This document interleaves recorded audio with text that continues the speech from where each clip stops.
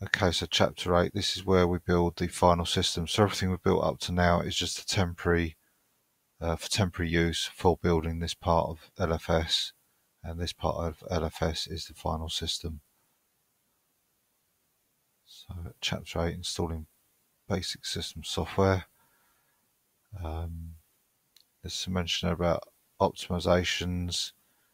Um, I wouldn't worry about that if you're doing this to build for its educational purposes.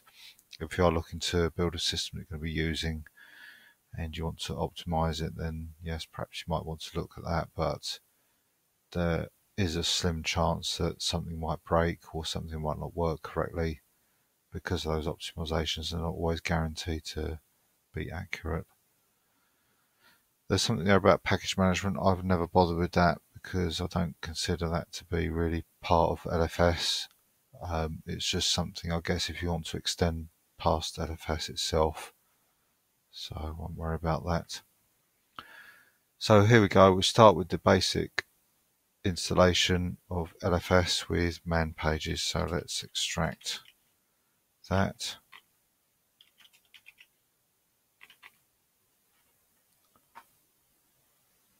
And move some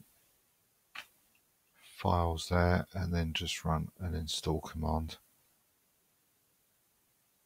and that's done.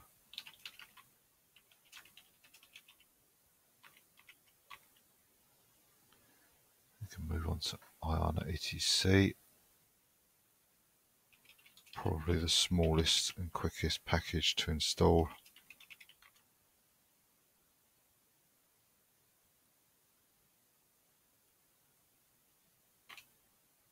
That's done.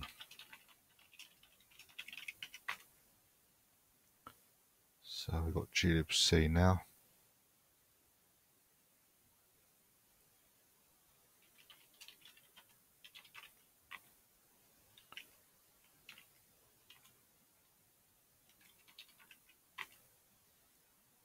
So first we do the patch. Then we'll create a separate build directory.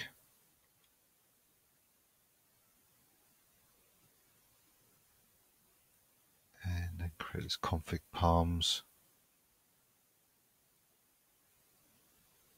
And then run the configure.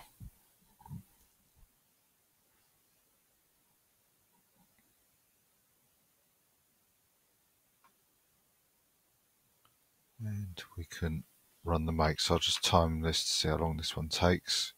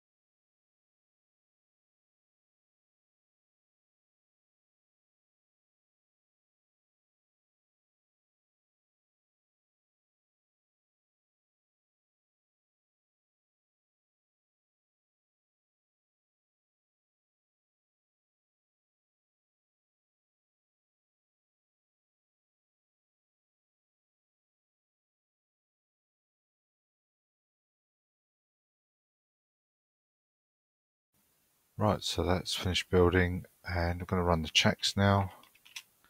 I'll time these again. And these will probably take, judging by the SBUs, probably about 10 minutes or so.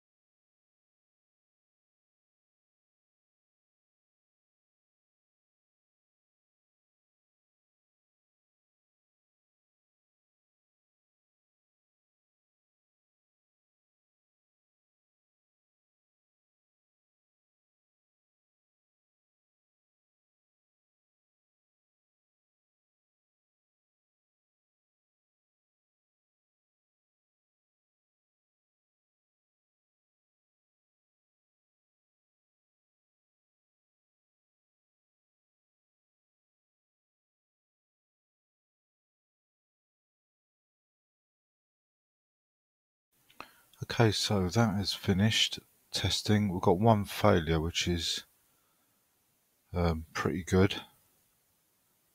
Uh, 78 unsupported, 16 expected fails, and 4 unexpected passes, I think that is. So let's just scroll back and see what failed. And is IO test El Chmod, and as it says there, that's known to fail in the chroot environment, so that's um, a pretty good result. So that gives us confidence that the glibc that we've just built is in good condition. so let's now carry on with the installation.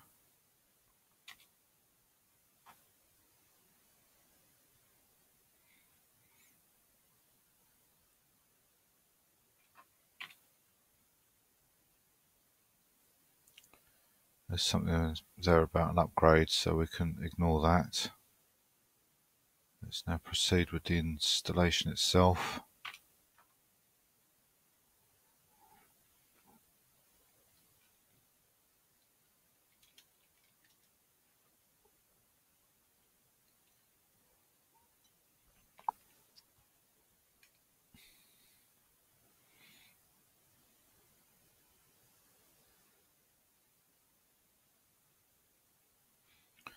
Okay, and fix a hard-coded path to the executable loader in the LDD script. And then it says here to install locales, you can only you only need to install the ones for your area, but um, as it says there that these are the minimum set of locales necessary for optimal coverage of tests. So install these as well as your lo locale you need. And it looks like the locales that I would use, which are these two, are installed by default. So I don't need to install any anything additional to this. So I'll just copy them all in one go. If there's any, any problem with any of them, then the error should appear on the screen. Um, alternatively, you can install every single locale, which will take quite a while.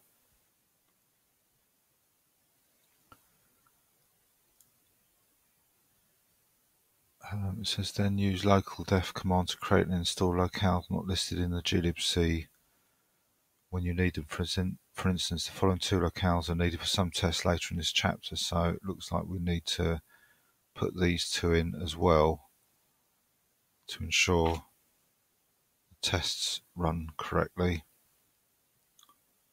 So now we add in this configuration file. And time zone data. So let's run this.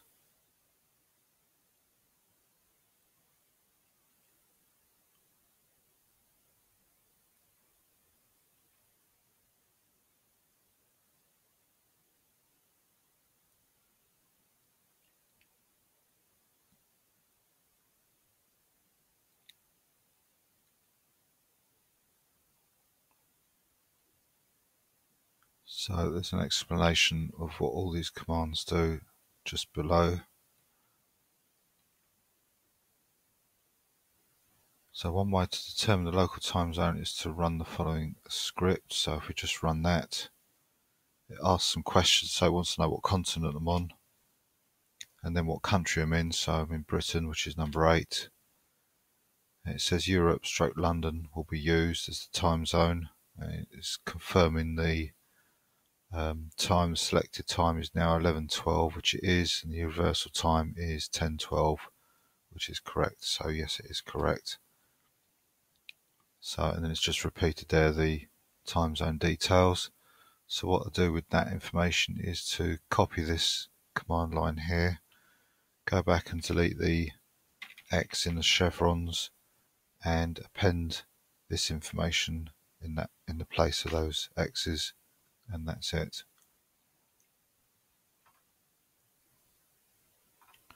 Create now the so.conf file. And there's an additional include directory here which is probably a good idea to put in. And that's glibc completed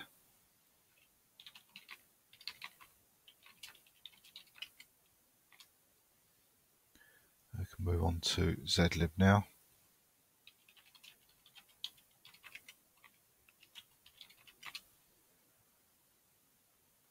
so configure, right, I think I need to get a mouse mat or something for this. Mouse seems to be uh, playing up quite a lot for some reason. See if this is any better. Right, configure user.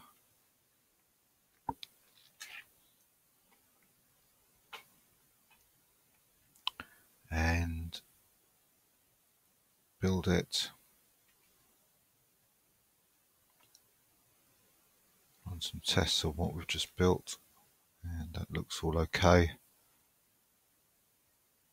And install the package. That's done. Nice and simple. And move on next to bzip2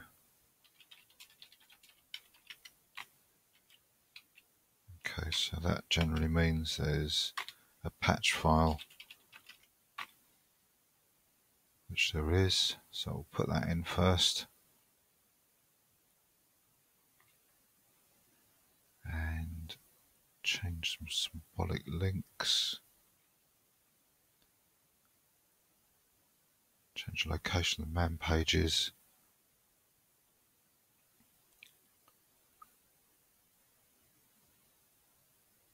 It for compiling.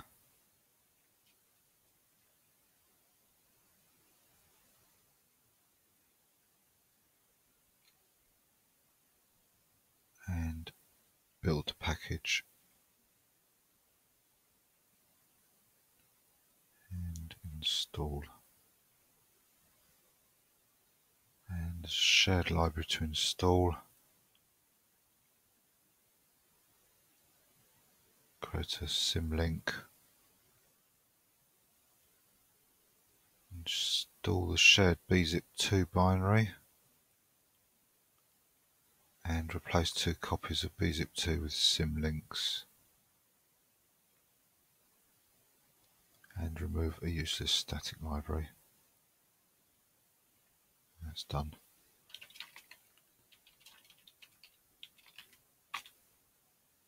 Next is xz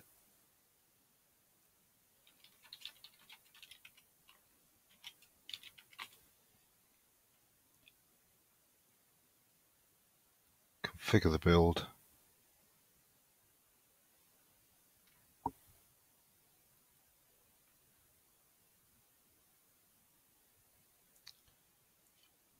Build package. And run some tests.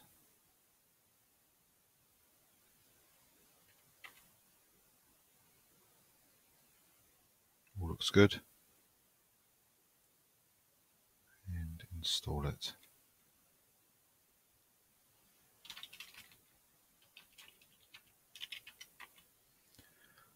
So next we've got LZ4, so this is a brand new package. So let's see how we get on with this.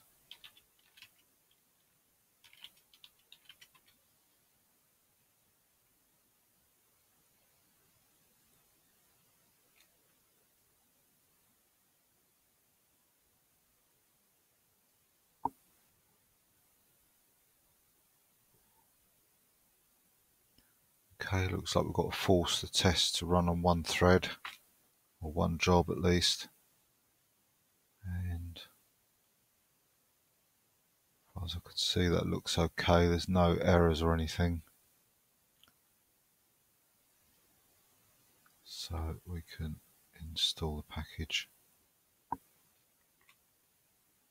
that's done.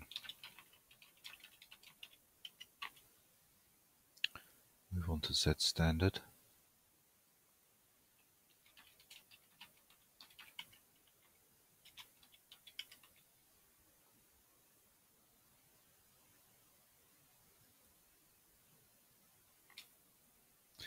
In the test output, there are several places that indicate failed. These are expected and only fail in capitals in actual test failure. There should be no test failures. So it looks like the build runs tests. Oh no, sorry, here it is, make check underneath. Right, okay. So let's run that. And as long as you don't see fail in capitals, everything's all right.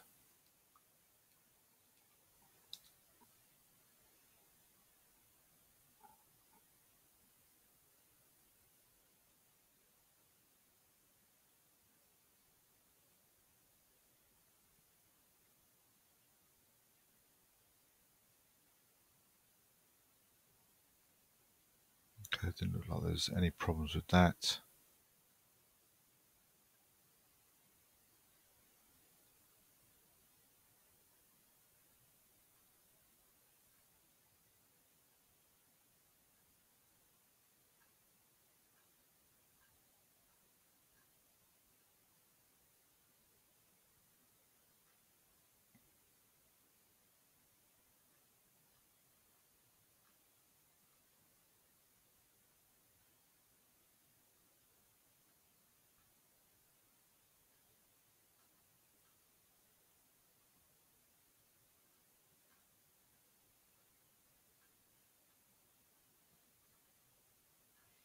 Right, so a quick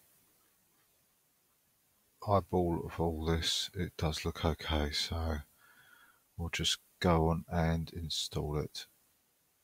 There's no final result, which makes it a little bit difficult to determine, but it does look okay.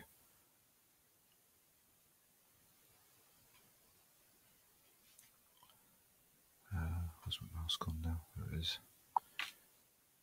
Okay. Next we've got file.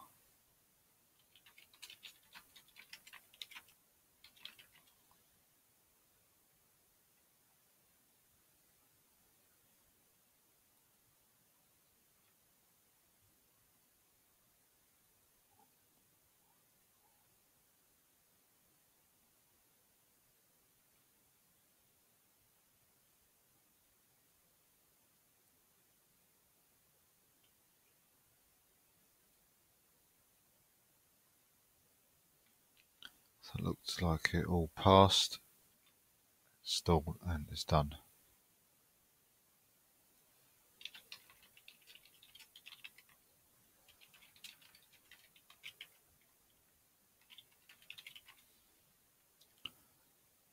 So read line next.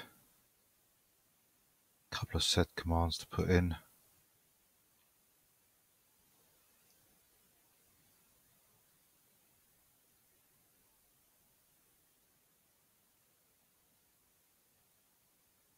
Here's another one.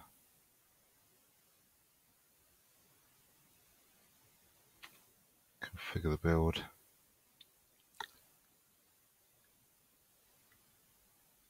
And compile the package.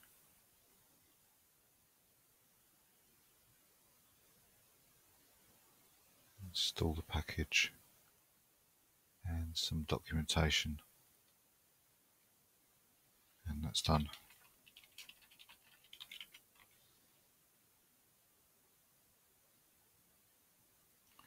So now we've got M4.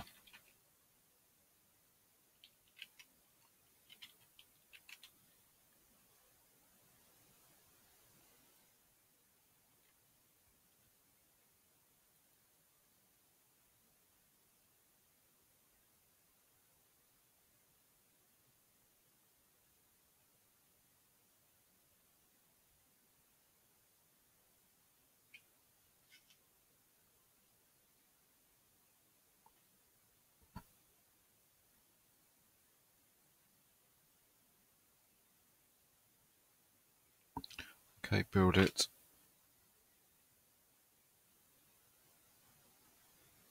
And run some checks.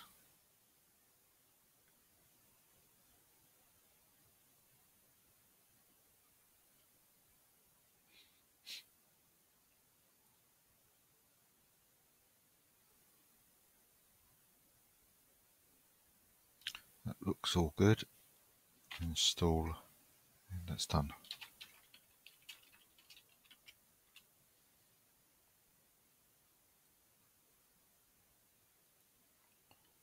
So BC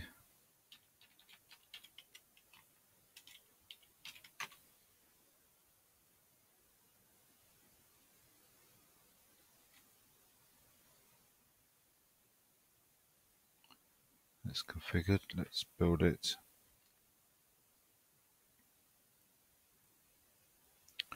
Run some tests.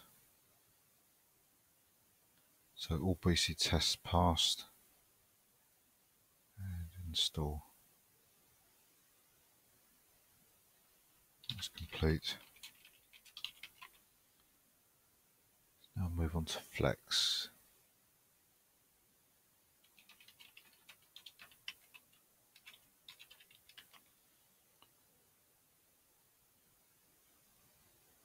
So configure it.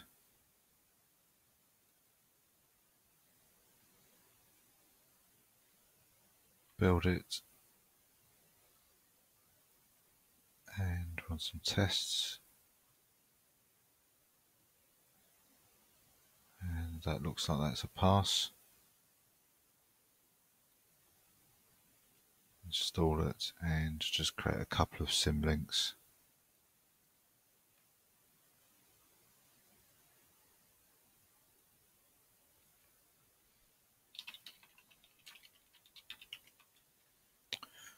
And we move on to TCL.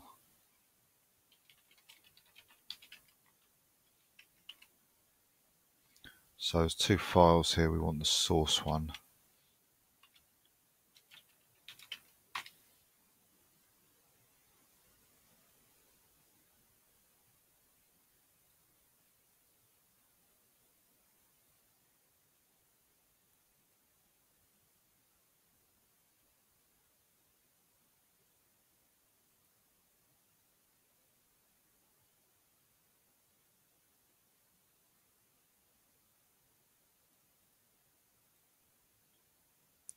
Build it.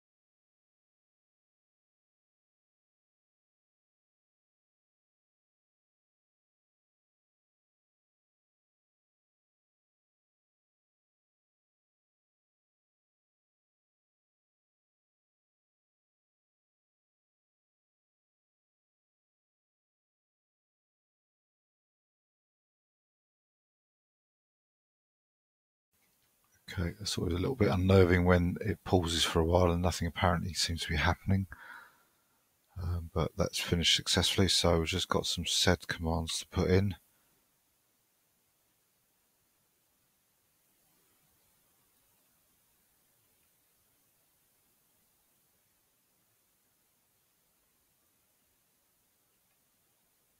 And unset that variable that was set earlier and run the tests.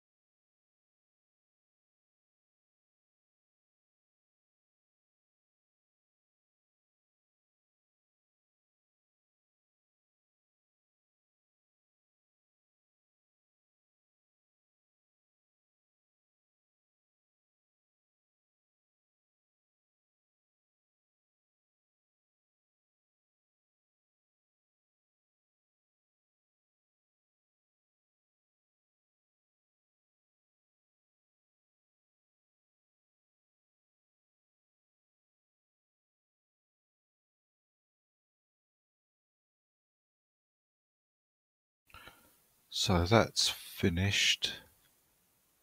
Um,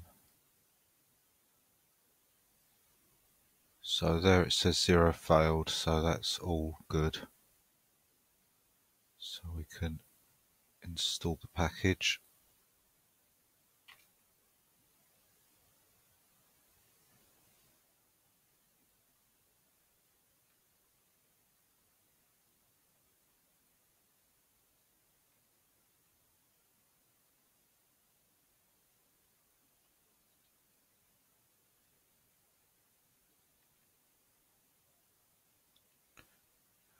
Like I've got to rename a package that will conflict with the Perl man page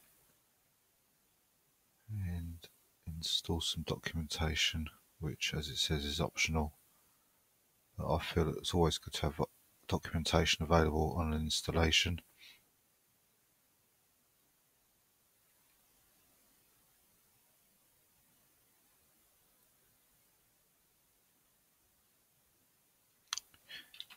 that's done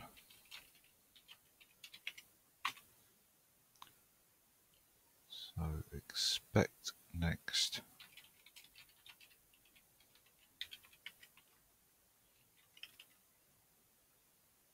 So this has got a patch, so extract that one.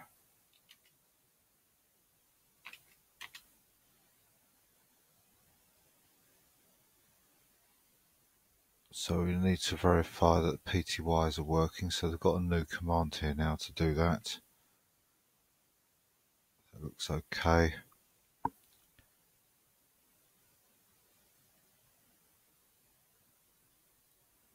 Oh, it does say it should output okay. Um, and it explains what you might need to do to resolve it. It does say this issue needs to be resolved before continuing or, or the test suites requiring expect, for example, bash, binutils, GCC, GDBM, and of course expect itself will fail catastrophically and other subtle breakages may also happen. So we're okay, all okay. We've got okay as a response. That's good. We can carry on. So configure.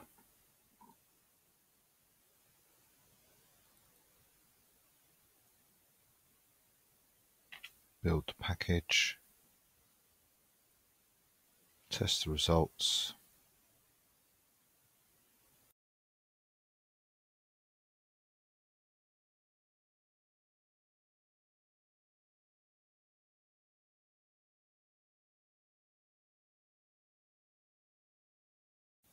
And that's all passed. So let's install it and create a symlink. That's done.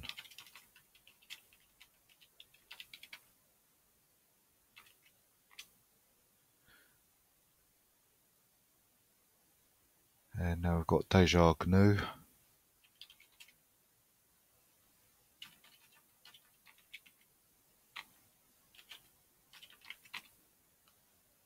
So got a temporary build directory to create and change into. Prepare it for compilation.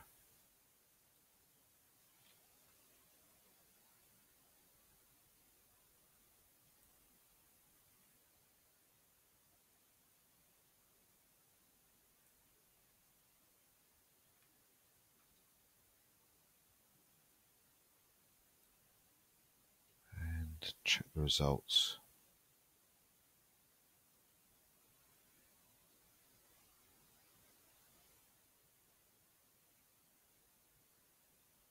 And that looks all good. Install it and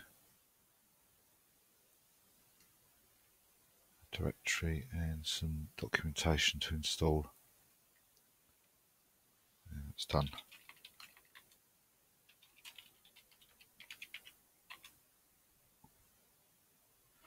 So next up we've got package config.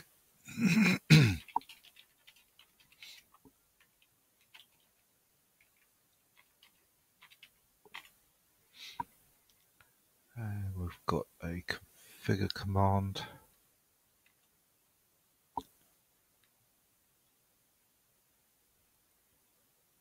Build it and install. And two symlinks to create. And that's done. So move on to binutils now.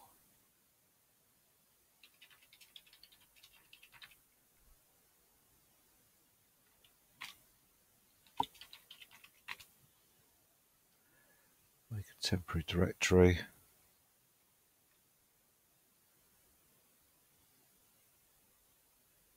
Configure for building.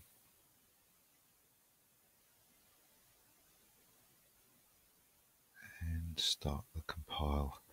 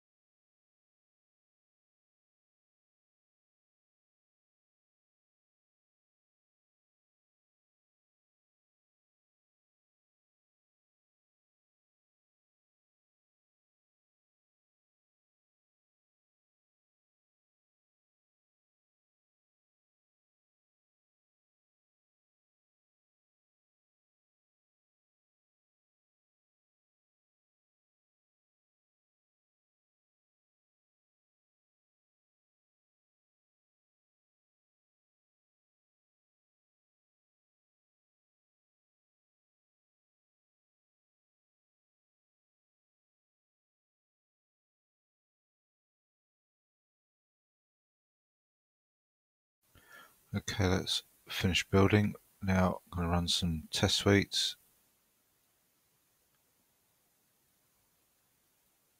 So let's see how long this takes.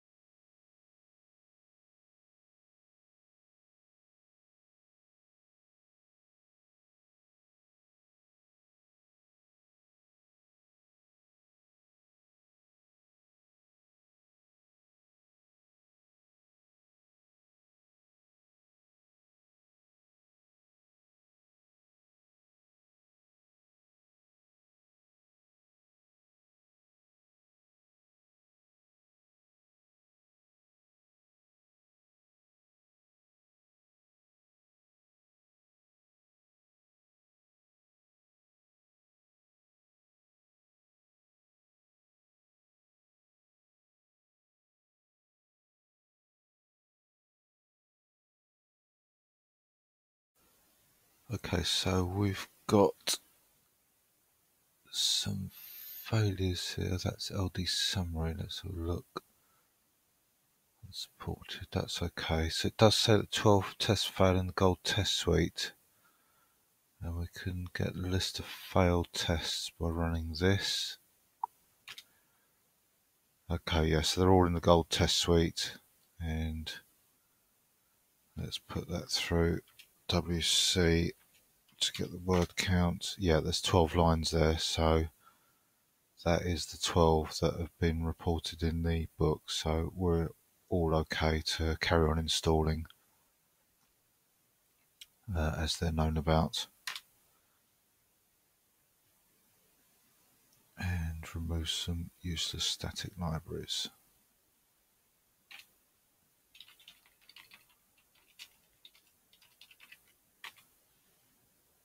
And move on to GMP.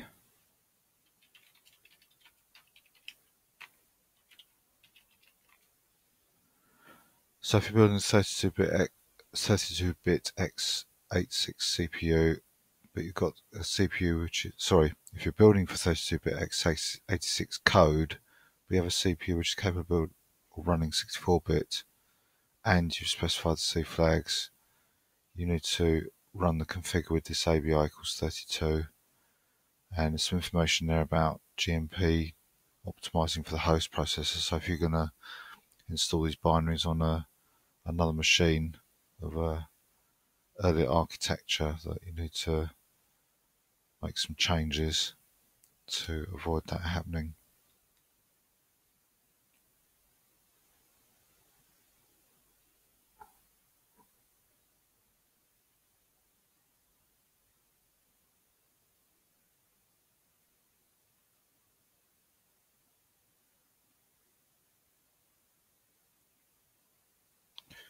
Okay, so we'll build this.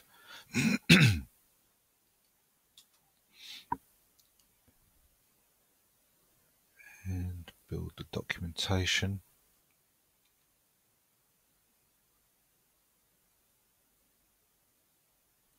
And run the tests.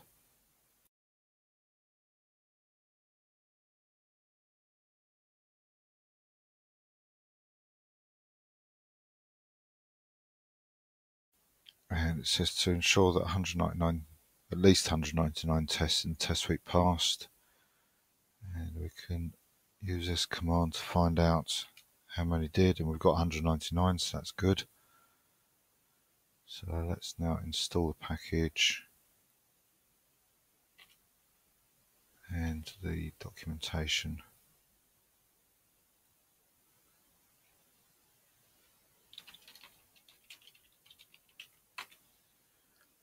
and move on to MPFR.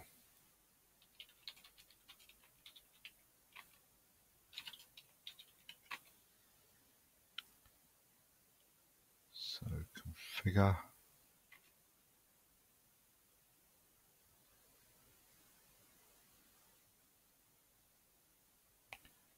Build.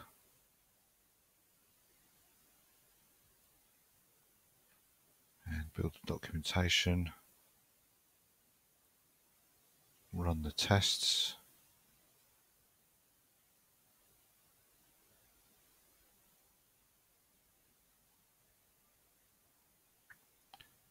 And it says test results and ensure that all 198 passed. So we need to look back. Yep, 198 tests and all passed. So that's okay. So make install and install documentation as well. And that's done.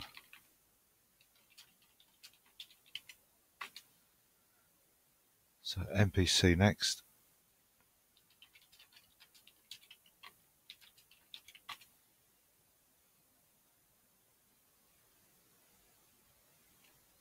Configure.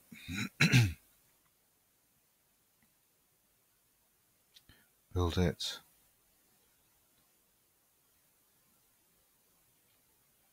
Documentation, test the results.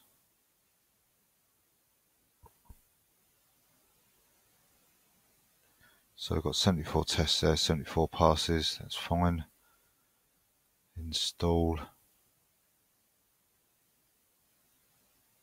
And install documentation.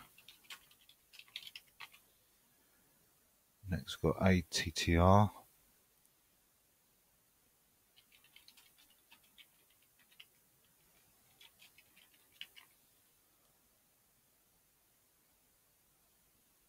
So configure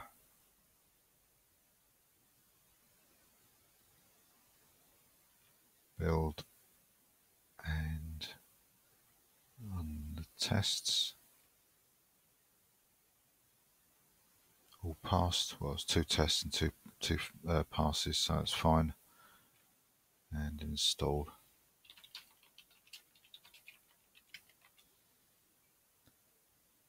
ACL next.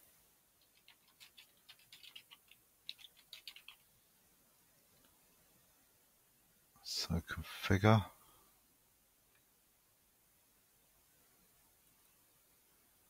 And build. The ACL test must be run on a file system that supports access controls, but not until Coreutils package has been built using the ACL libraries. If desired, return to this package and run make check after Coreutils package has been built. Okay, so we'll just install it for now. And what I do here is to tidy up. And instead of carrying on as normal I load up the next package in a new tab. And then I've got this little reminder here as long as I keep note of it that we need to come back to ACL to do the full tests on it. So carry on with libcap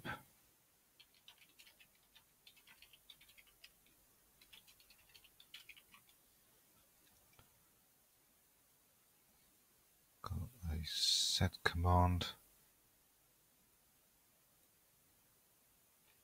Build package. Test the package. And that looks okay. It says pass there.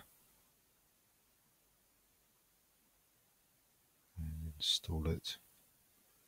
That's done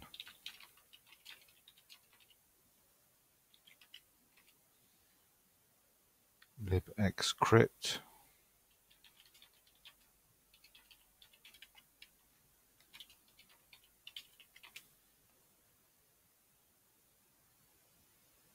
configure.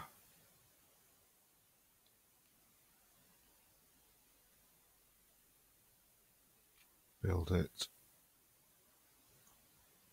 Check the results So 31 passed, 12 were skipped, no, no failures, so that's good. Install it.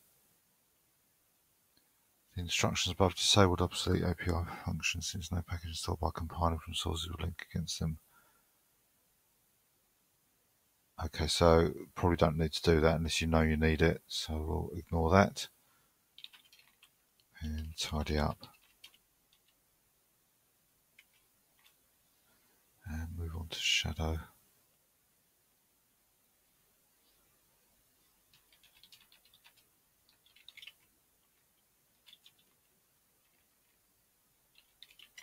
So if you've installed Linux PAM, you should follow the LFS shadow page. Well, we haven't because we're following the LFS book, but once you get to BLFS, you, you would be advised to install Linux PAM, and it does show you how to rebuild Shadow with Linux PAM support.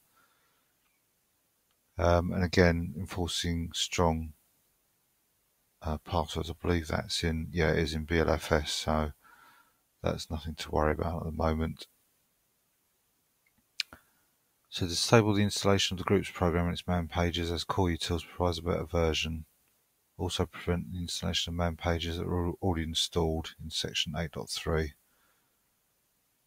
So we'll put these commands in to do that.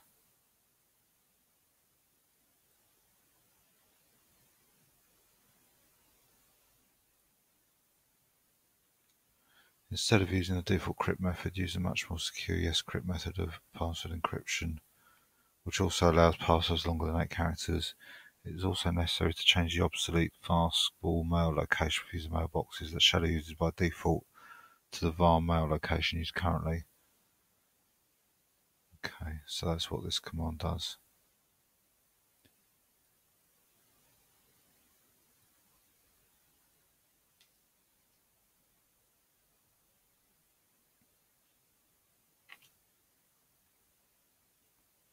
We haven't used cracklib, so we'll just touch this file and configure shadow for compiling.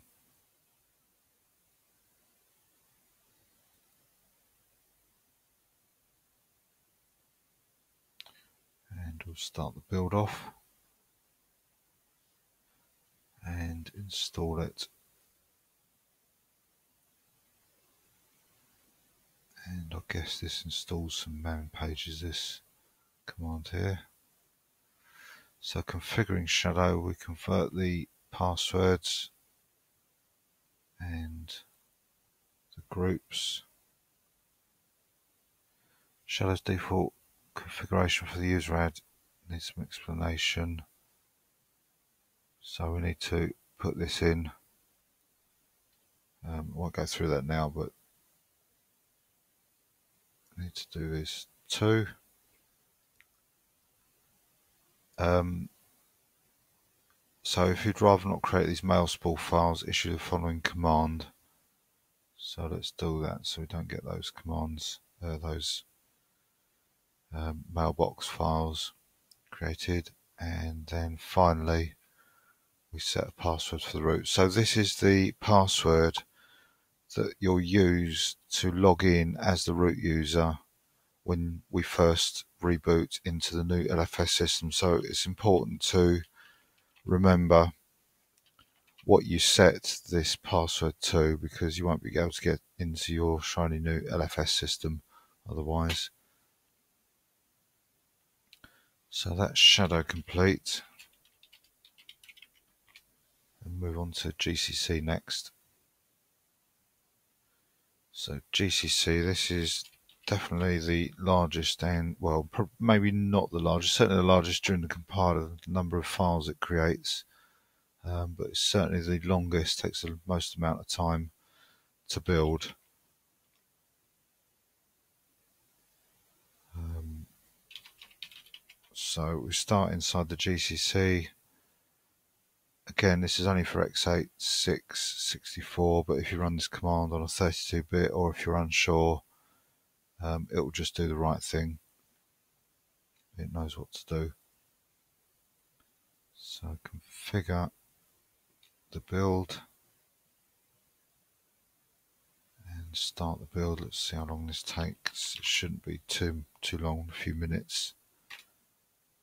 And then we'll run the tests after, which will take a substantial amount of time.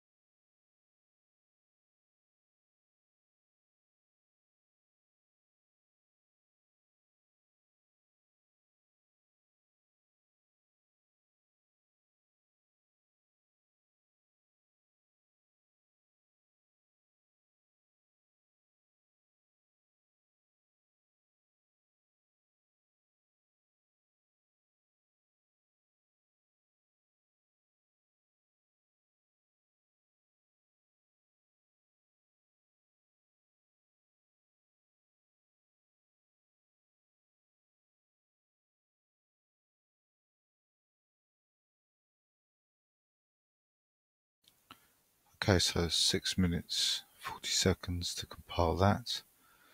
So let's start the test. It says GCC. Oh, some more information here. In this section, the test suite for GCC is considered important, but it takes a long time. First time builders encouraged to run the test suite.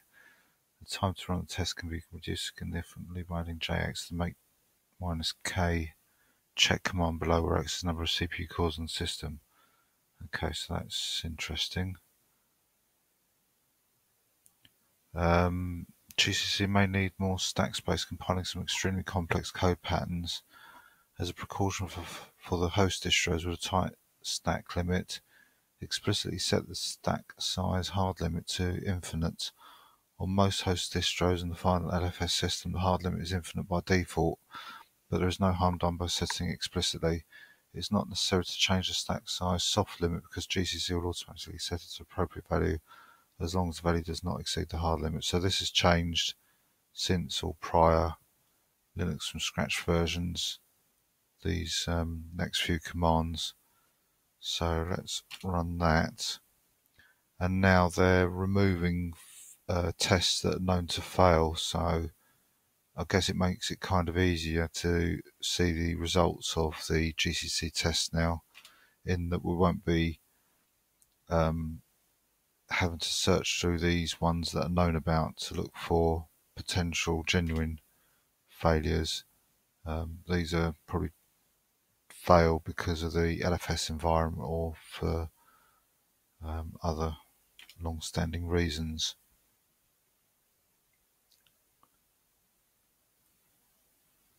Um, it could be even like the fact that we're in the chroot environment.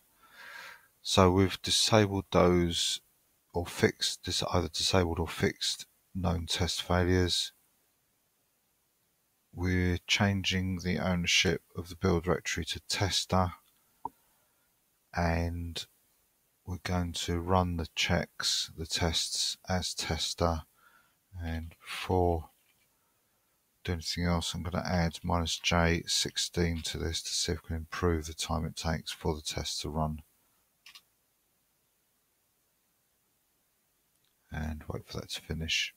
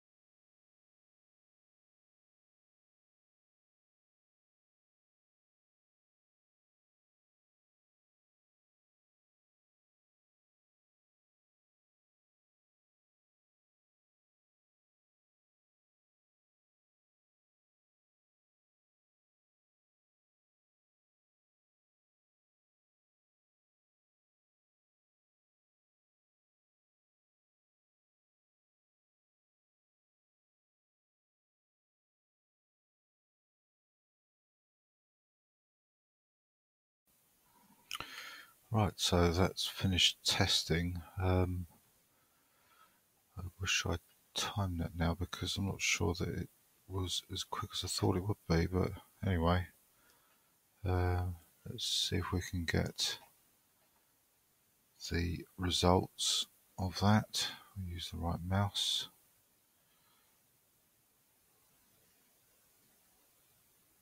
So we can get a summary with this command here, but I think it just scrolls it all off the screen, yeah. So what might be better is to put it through this grep command they've got here.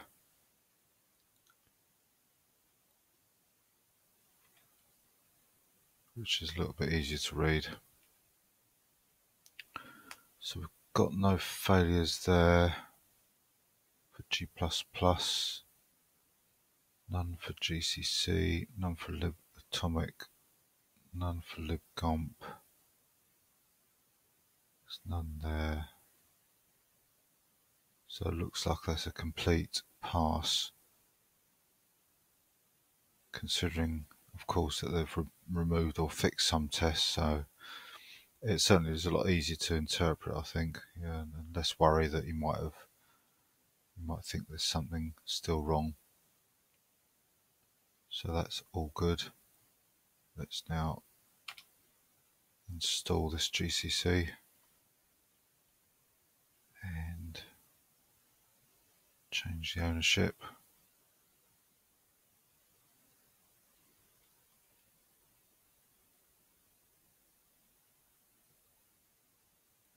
Create a link and another one. A capacity compatibility symlink.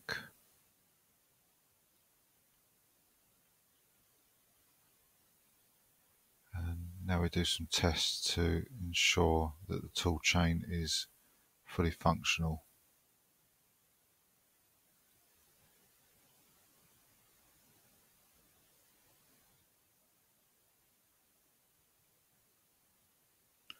So that looks okay.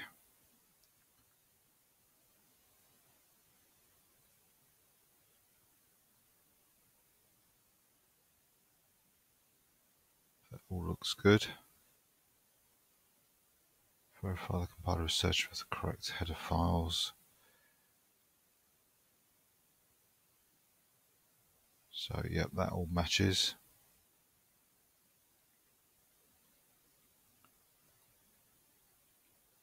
Oops, did that twice there.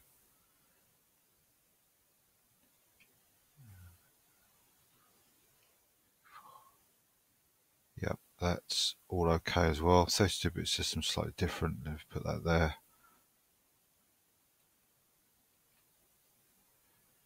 See, succeeded. That's correct.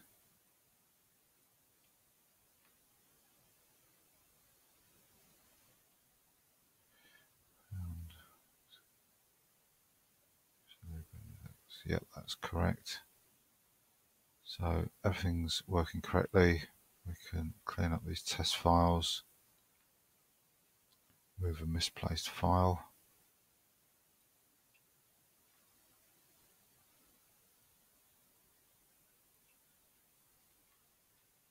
And that's GCC complete.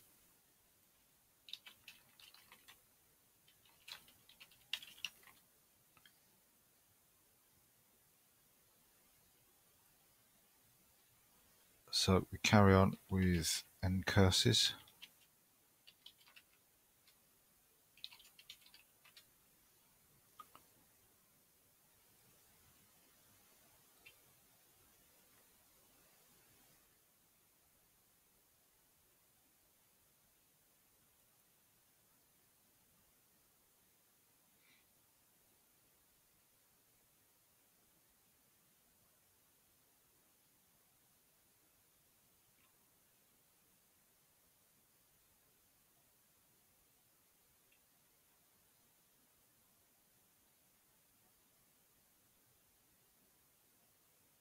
So it says tests can be run after the package has been installed. So let's do that now.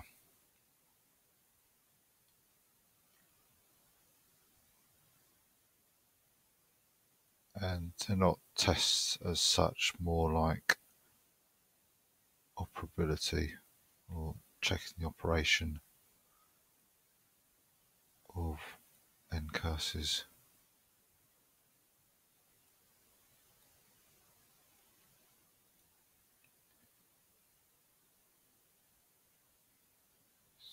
Need to put this in and this one.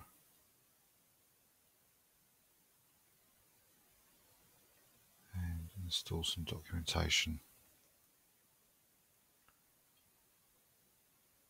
And there's a bit there about um, some non-wide character libraries that require version 5, which is the previous version, so I won't bother with that. So all we need to do is go into the test directory and uh, basically executing any of the executables here will do something. For example, the Christmas one gives a little greetings card, an animated greetings card. Um, if I can remember the others that are quite useful to look at, um, let's try view. No, not that one then. Um, let's try rain.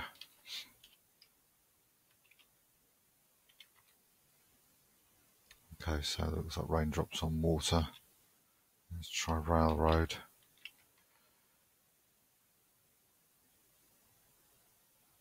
Okay, so it looks like a message being scrolled in a letter at a time at the bottom.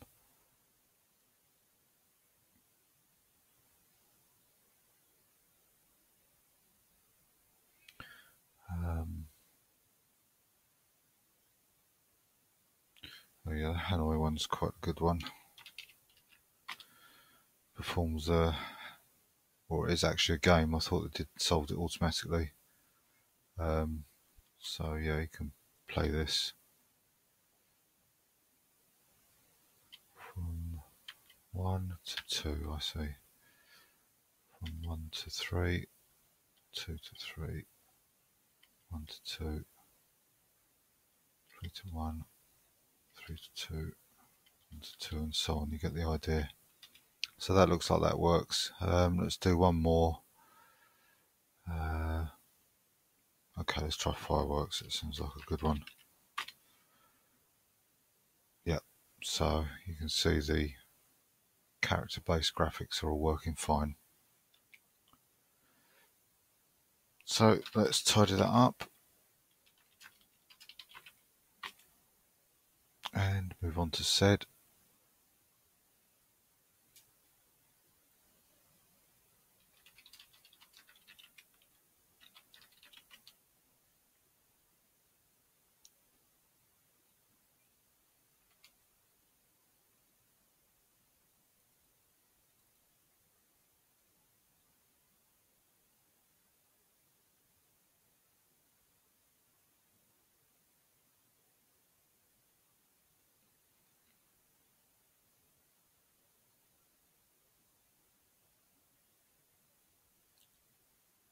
So let's build that and make some documentation.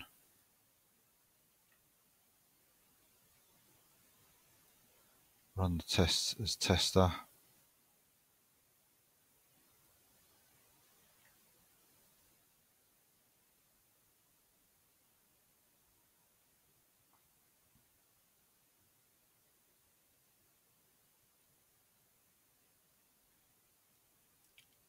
Install the package because that was all okay and install the documentation and that's done.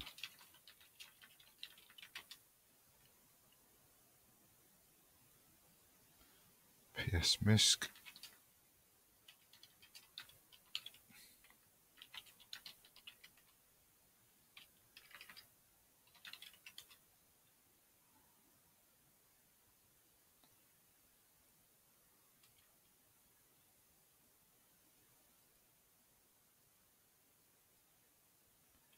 configure, build, run some checks.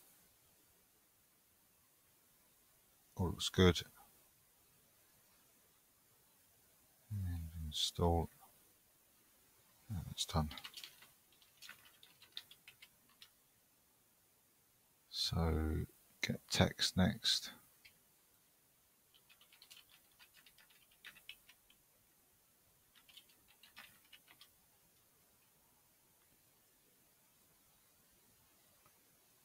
Let's configure it.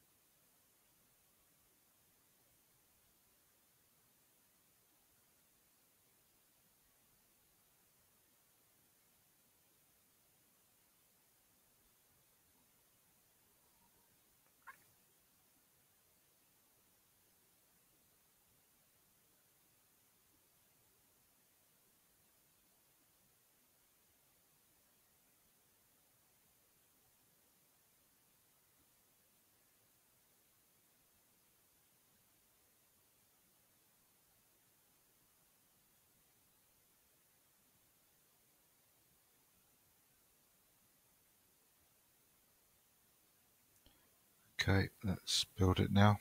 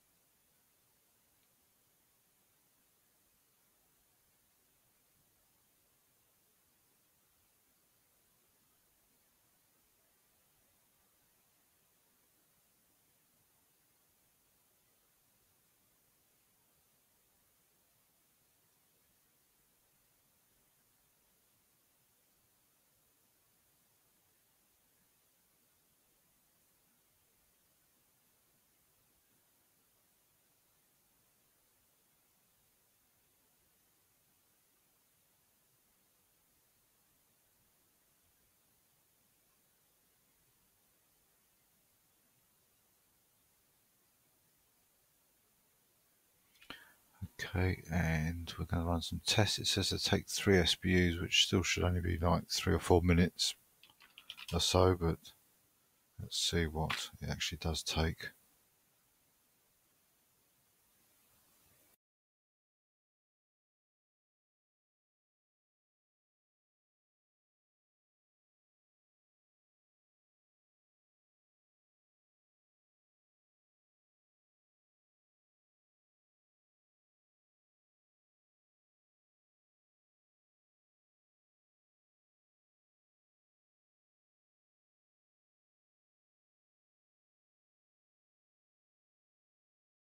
Okay, well that took 22 seconds in the end, so not quite 3 SBUs, but maybe it automatically uses all the cores it can find. So we've got 395 tests, uh, 359 passes and 36 skips, so that's all okay. So let's now install this.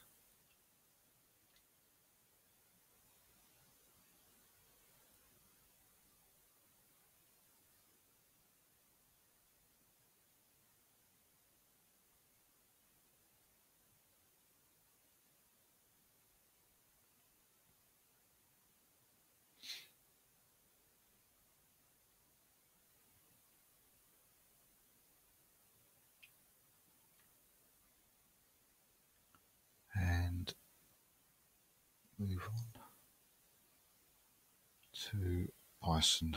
So just tidy that one up.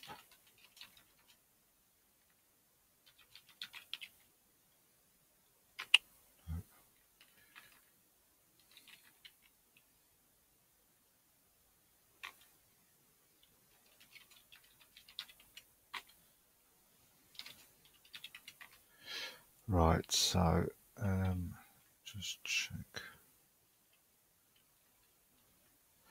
Okay, let's configure this one.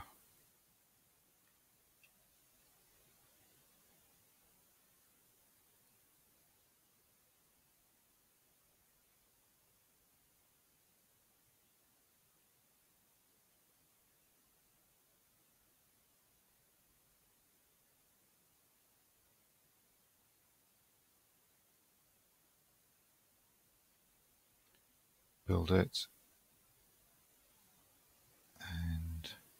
run tests. Now again, it, it, says it takes five and a half SBUs, but let's time it and see what it actually does take.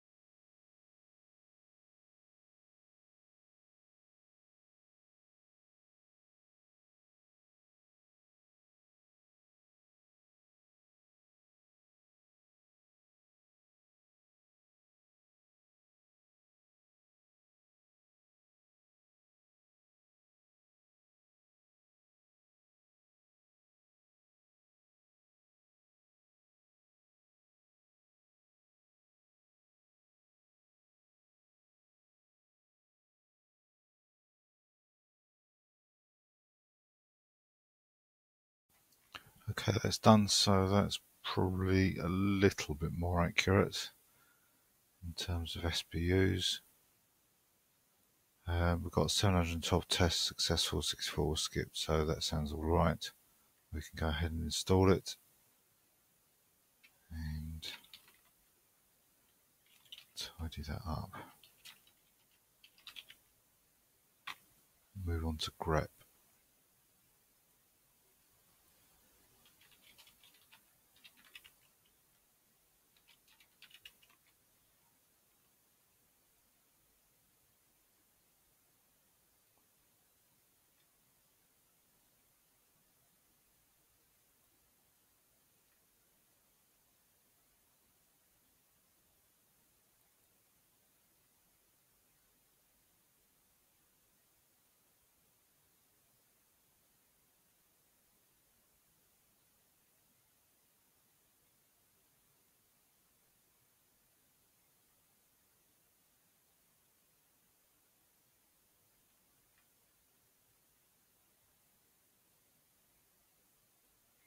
So let's test what we've just built.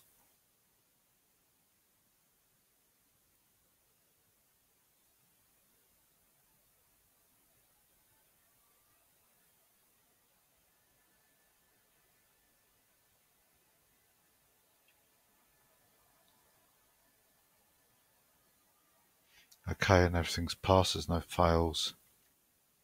Install that and it's complete.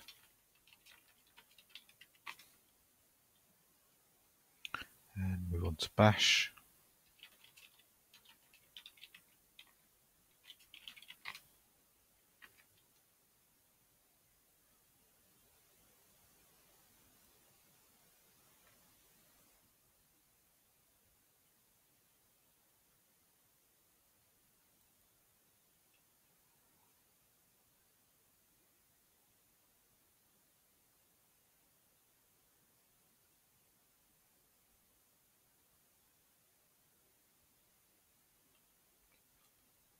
that.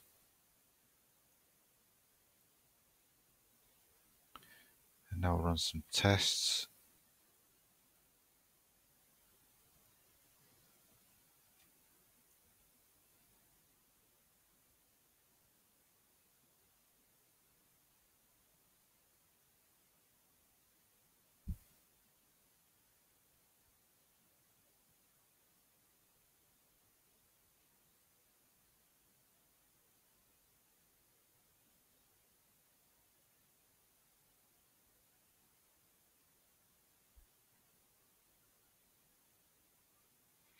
It says run built-ins is known to fail, so it looks like this might be an alphabetical order, so I'll just scroll back.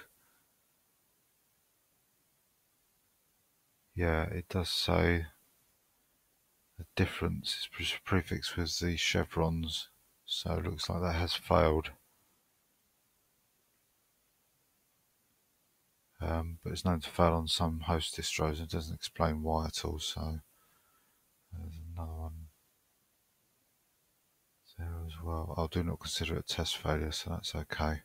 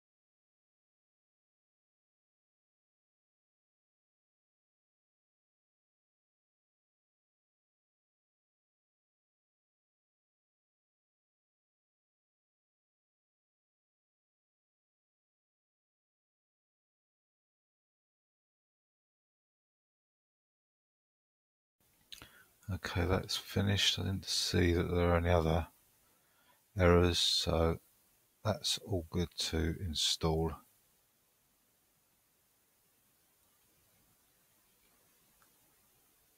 And run the newly compiled bash program with this command. And that's done.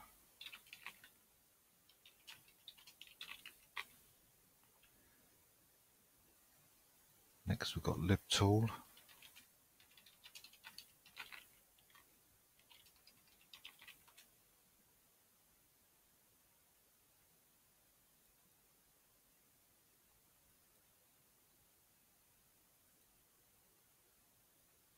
Right, configure.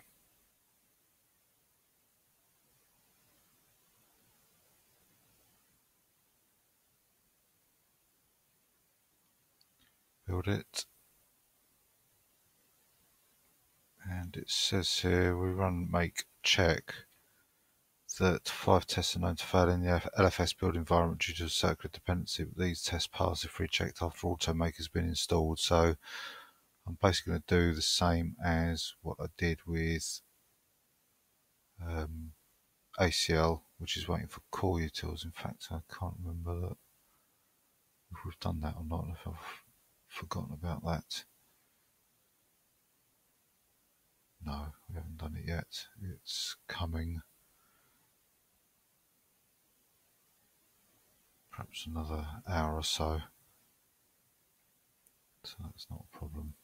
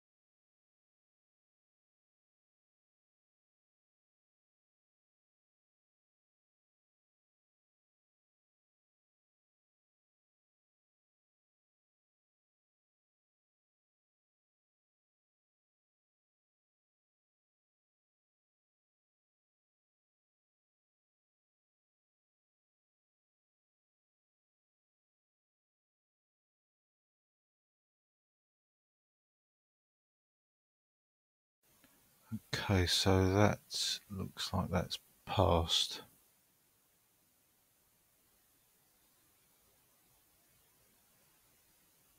I know we have got some fails, yeah, of course. So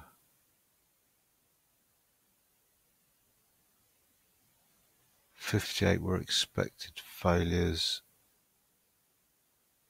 So it looks like there's actually seven failures there then.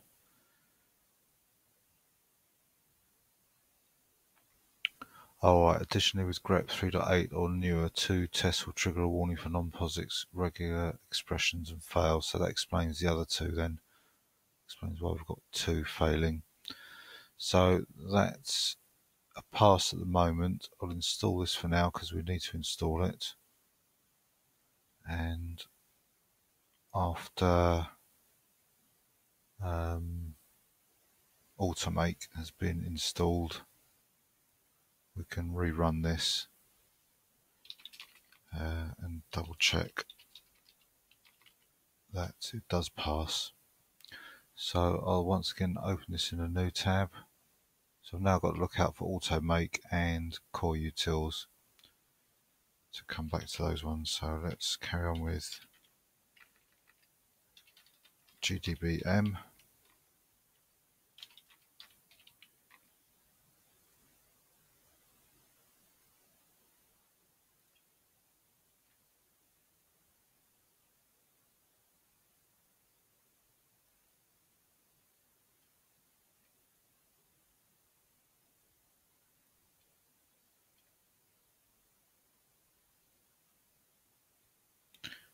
So all 34 tests were successful.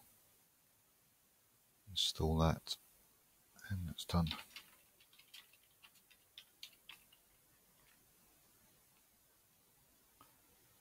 Next we've got gperf.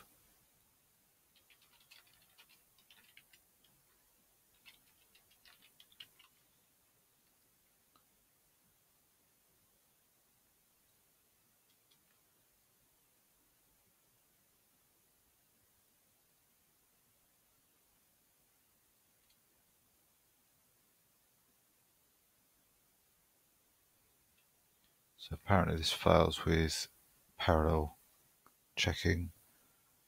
So we'll do it with one job and it seems to have worked from what I can see from that.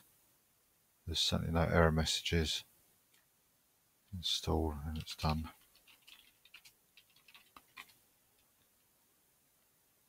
expat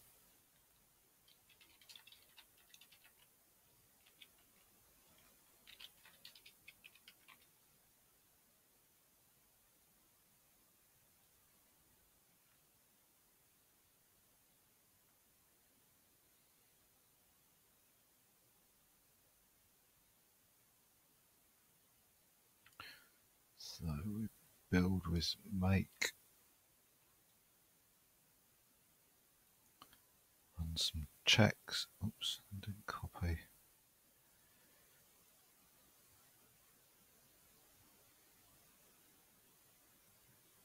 Yep, that's passed. And that's installed okay. And install some documentation and that's done.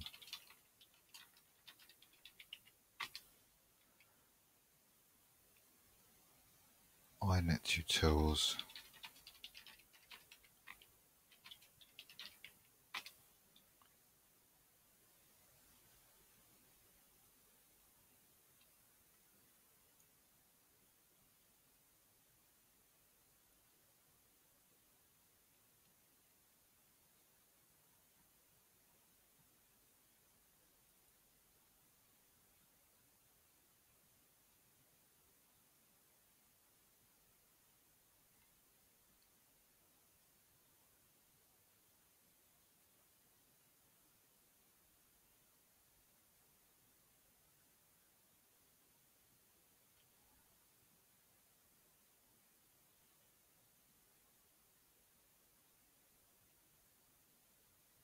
Okay, so we can now build. And run some checks. That's passed. Make install and move one program. And that's done.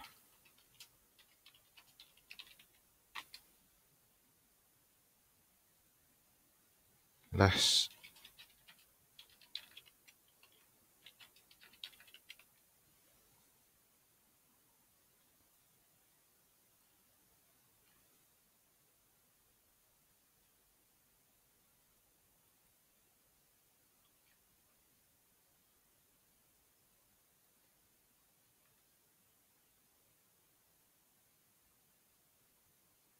So 14 tests with zero errors, that's fine. That's done.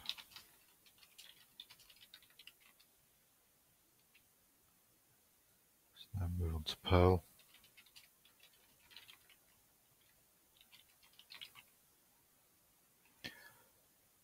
So we need to use these two commands to force Perl to use the system libraries rather than its own internal versions.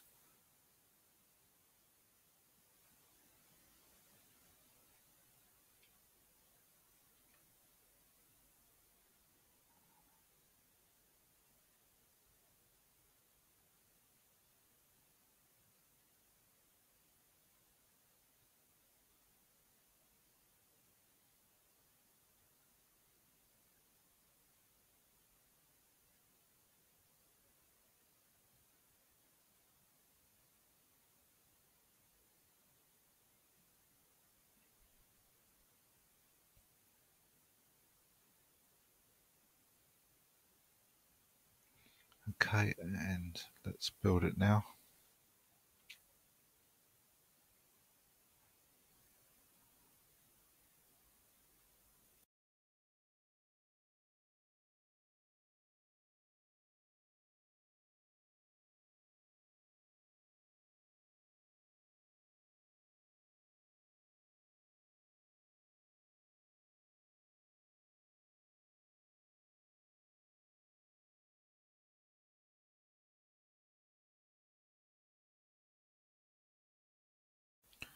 And now we run the tests, which it says takes approximately 11 SBU.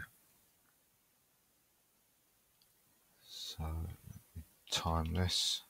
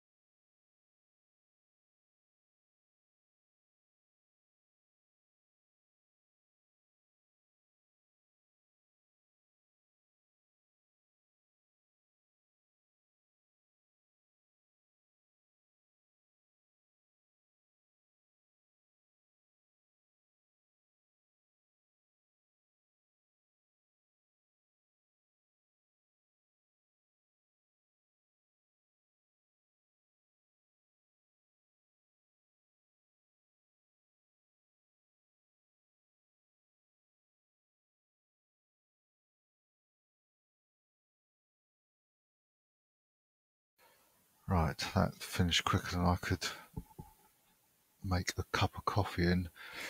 So that looks like that's all successful. Uh, yeah, we've got a result of pass there, so that's okay. Let's install the package.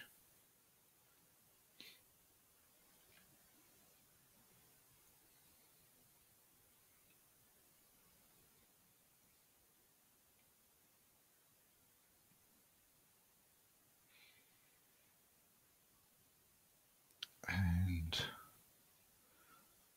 unset these two variables. And that's complete. XML parser next. So once again, these are in capitals, or start with capitals, this uh, package.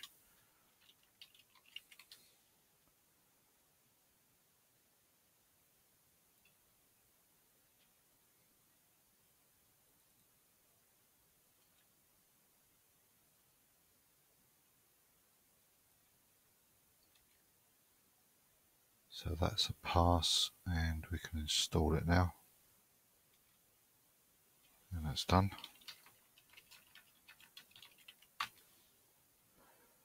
Intltool.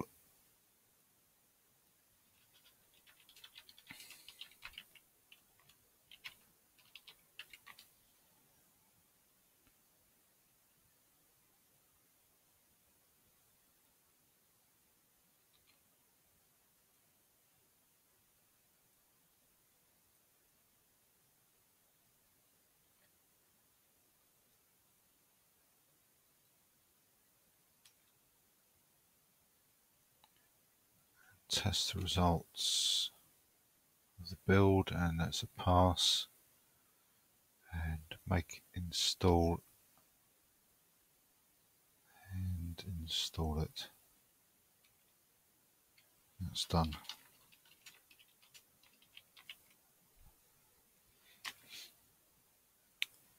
Okay so autoconf next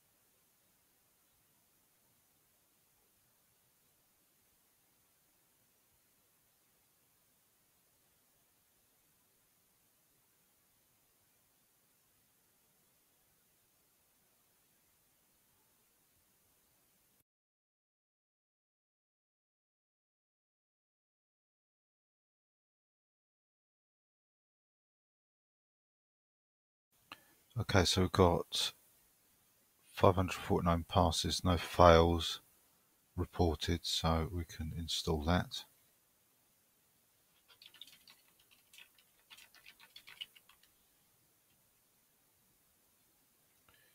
Now move on to automake.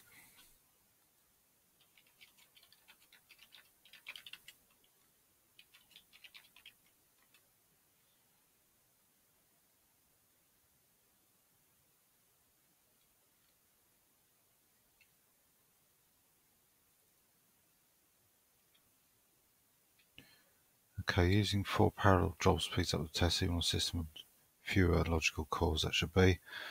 Uh, due to internal delays in individual tests, the test results issue this. Um, so let's put that in. Uh, I think this takes quite a while, does it? Okay, just one SBU with the tests. Okay, so let's time this.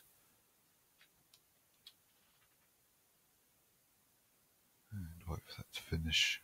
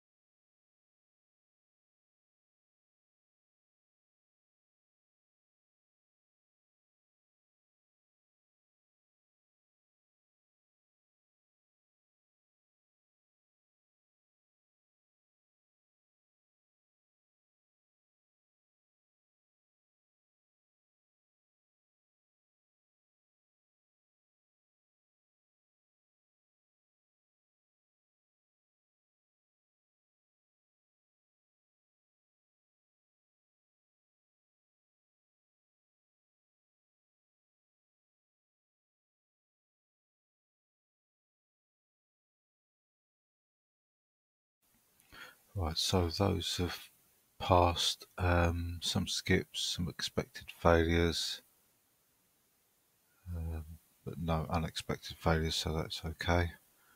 Uh, I'm surprised how long that took in the end, being as it said it's 1.1 SBU with the tests. Um, from what I can see, this looks like it's saying if there's more than four cores, use those number of cores, otherwise use four um, cores or use four jobs. So I'm surprised that that would have used all 16 cores, if I'm interpreting that correctly. Um, it actually took a lot longer than one SBU or 1.1, uh, more like five or six SBUs. but again, that's the inaccuracies of the SBUs, which is unavoidable. So that's automake completed. So now we can go back to libtool, which had a circular dependency with automake. So let's now rebuild this.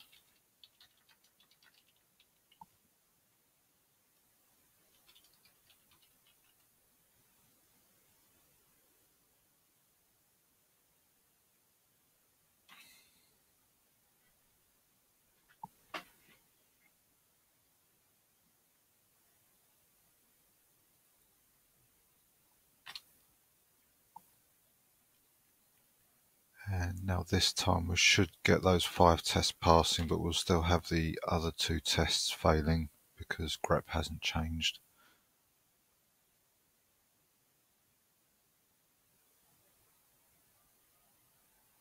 So there's one.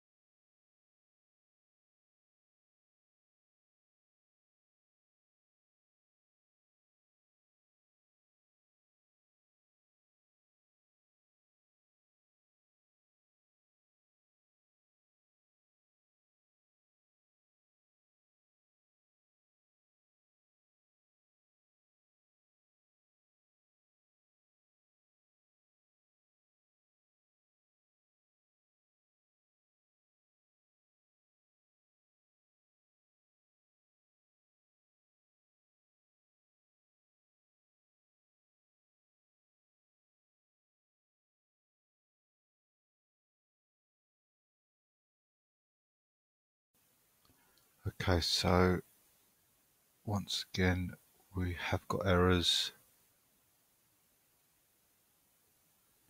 Yep, so seven failed, but five are expected, so that leaves the two that we've got failed. So there's the other one there at the bottom.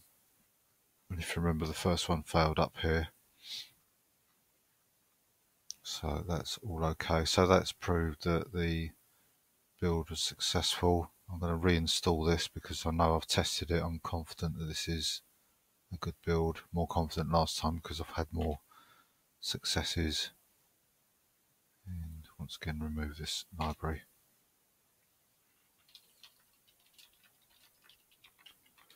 So I'll close that tab down, go back to AutoMake and we carry on with OpenSSL.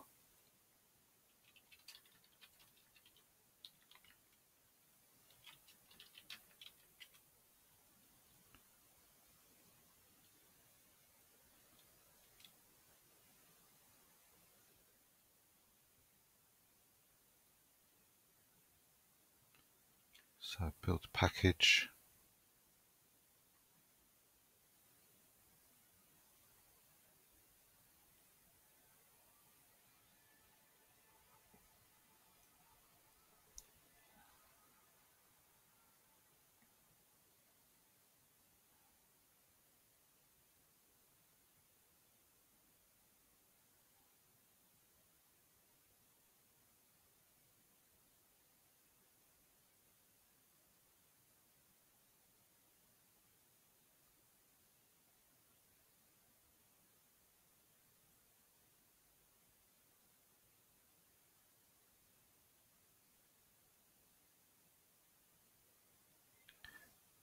Okay, so let's run the tests.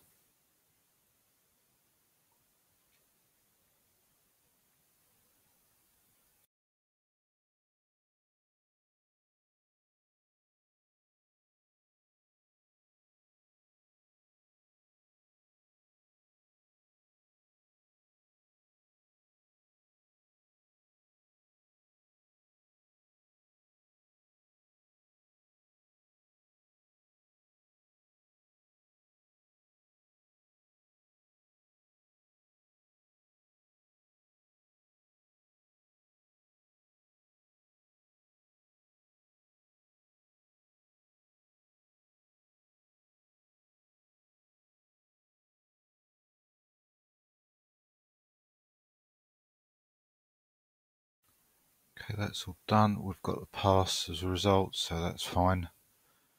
And now let's install the package.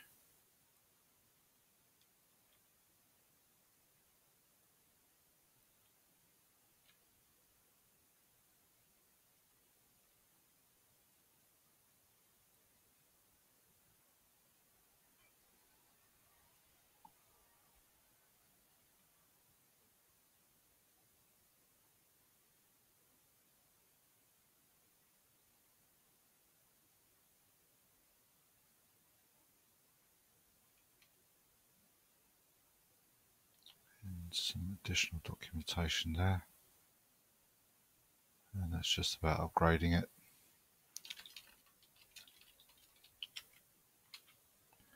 So Kmod next.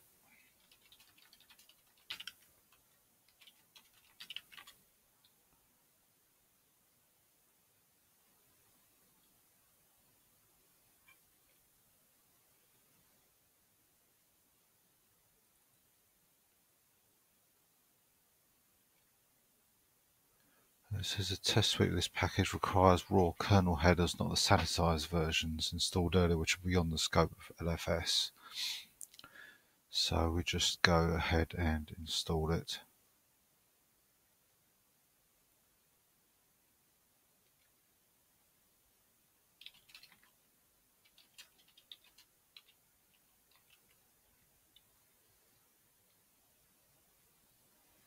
libelf from elf-utils.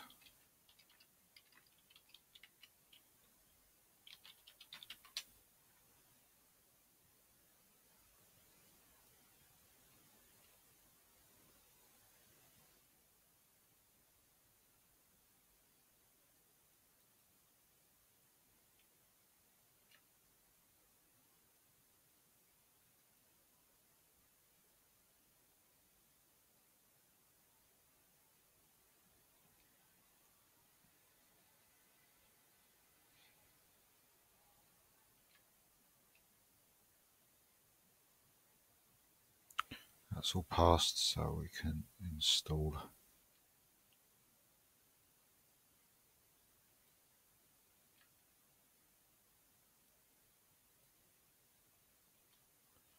And that's done.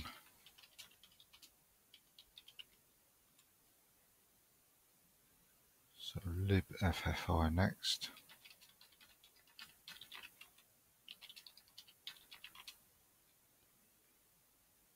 Again, there's a note there about the fact that this package optimizes itself.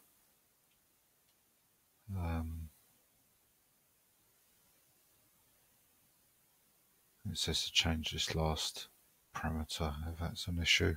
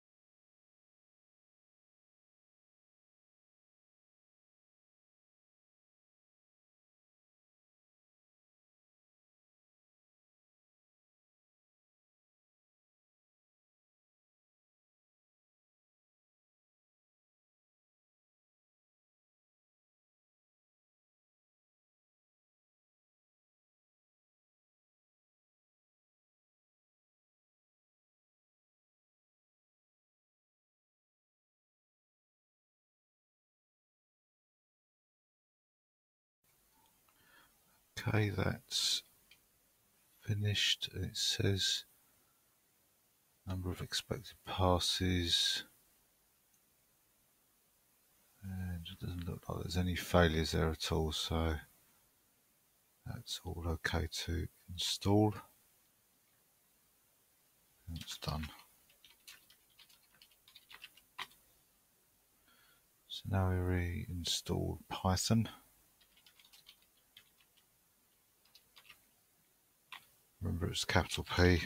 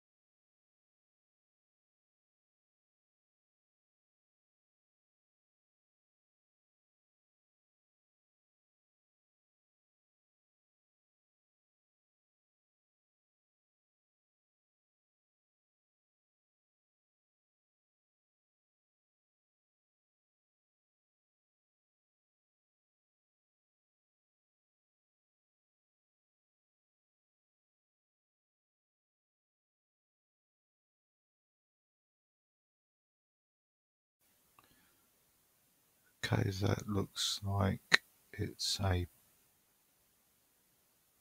finish on that one. Yeah, it looks like it's done. So let's do the test now.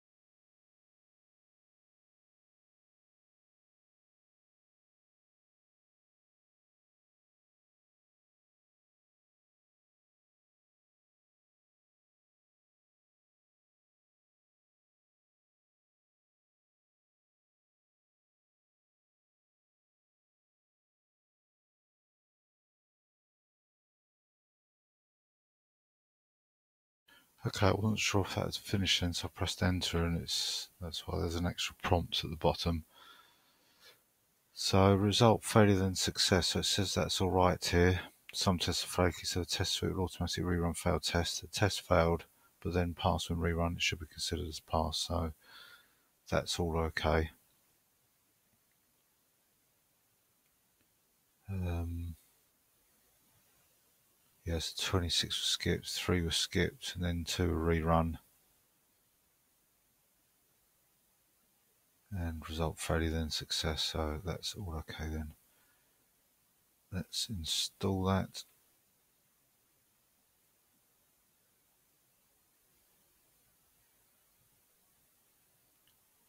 And it says there to ignore that message.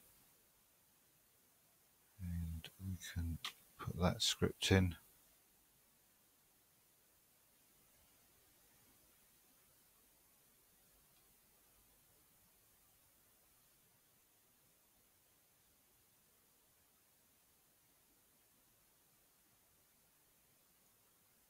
It says information about pip3, but I, I suppose we'd only be running that under direction from LFS or BLFS. So let's now put some documentation on the system.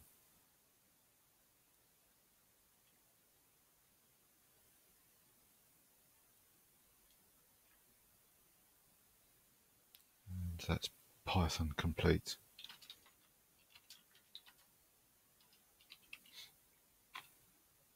And we move on to flipped core.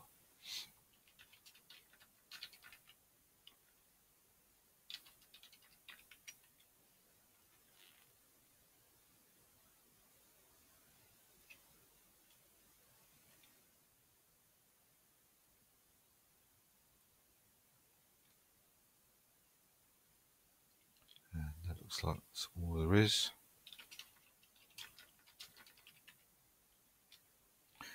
And we move on to wheel.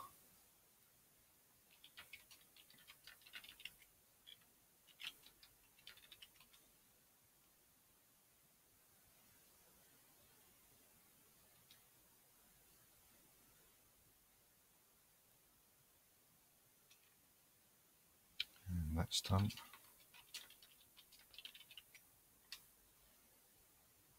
And set up tools.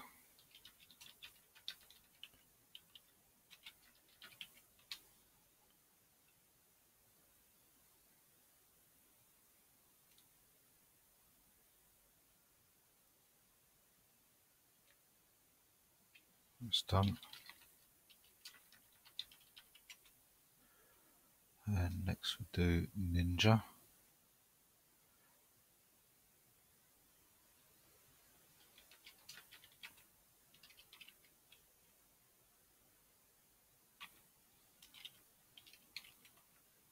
So it says here when Run Ninja normally utilizes the greatest possible number of processes in parallel. By default, this is number of cores on the system plus two. This may overheat the CPU or make the system run out of memory.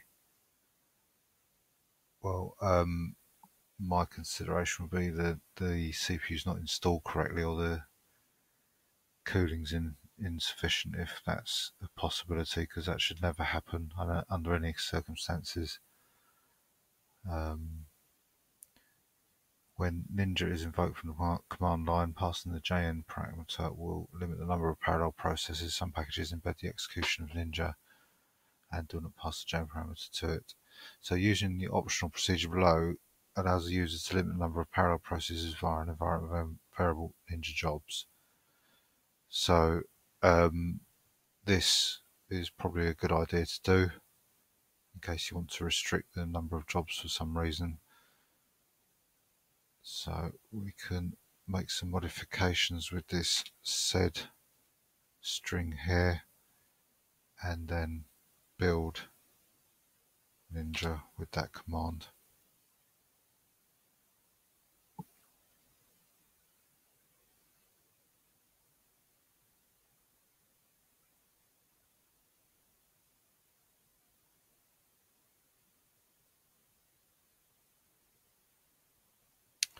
That's done. Let's now install it.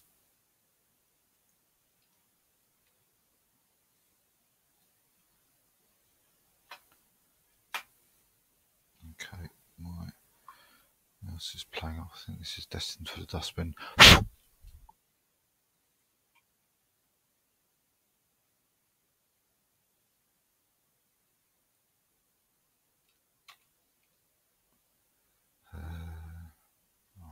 This one next. So that's done. Now we go on to Meson.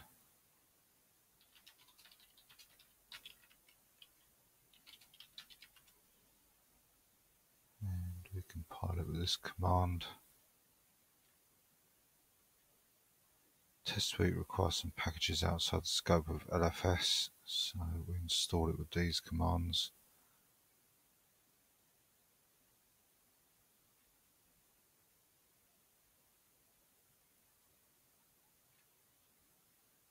And that's that one done. And we move on to Coreutils.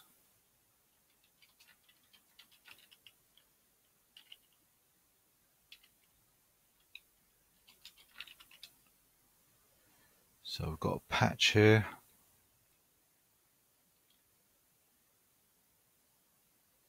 And then we start the configuration with these commands.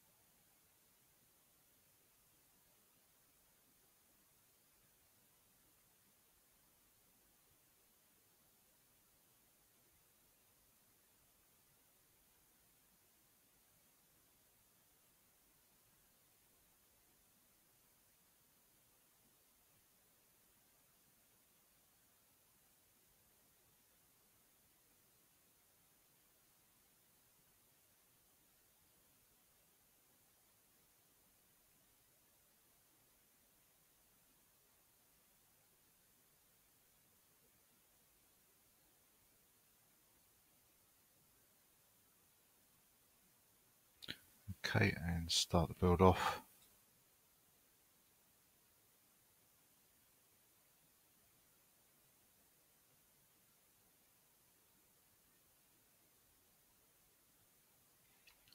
And now we run the test. So first run the test that meant to run as the user root.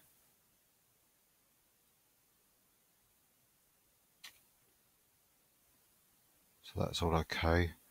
We're going to run the remainder of the tests as the test user. Certain tests require the user be a member of more than one group. So they're not skipped, add a temporary group and make the user tester a part of it. So we'll do that. And fix some permissions on the non-root so that the non-root user can compile and run the tests. Now run a test using dev null for the standard input, or two tests may be broken if building LFS in a graphical terminal or on a session in SSH or GNU Screen because the standard input is connected to a PTY from a host distro and a device node for such a PTY cannot be accessed from the LFS root environment. So put that all in.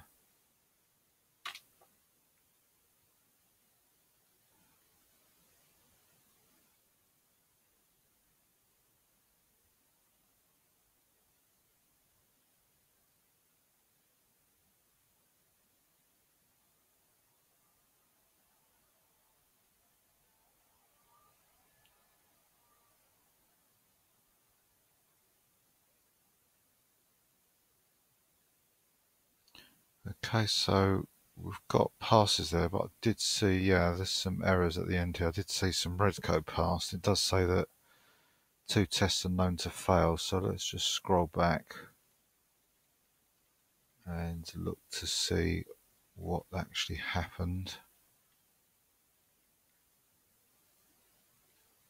Okay, there it is there. Yeah, it was two failures there, so it's another suite of tests. Um, let's see if we can find the names of these.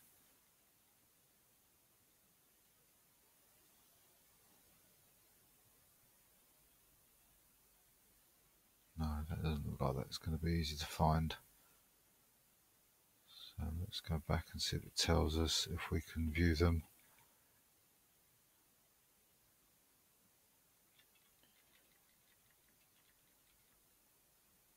see test test suite log for debugging.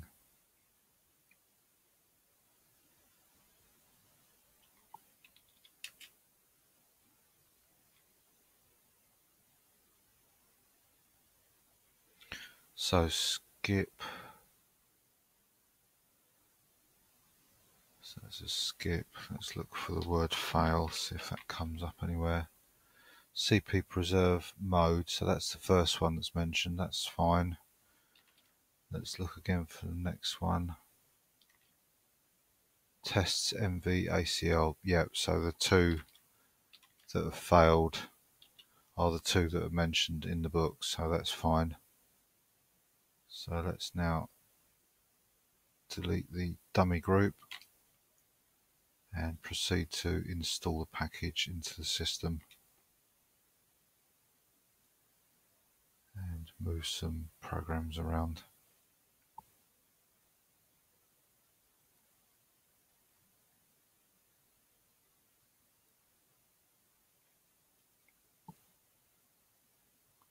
So that's Coreutils complete. Yep.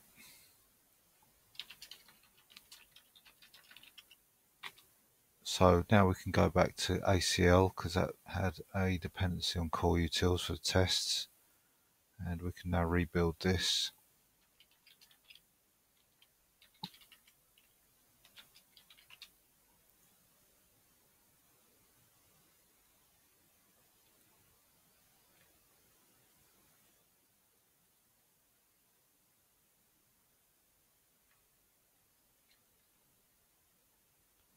And we run make check.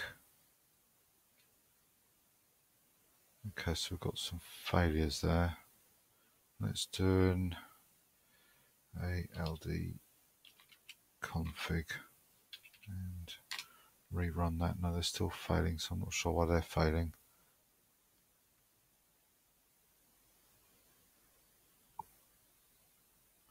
Permissions set faculty restore. That doesn't indicate that's... Oh, right, okay, so it must be run on file system supports access controls. So it's possible that these um, ACL is not set in the kernel. Um, that's probably why these are failing. Um, I wonder if we can do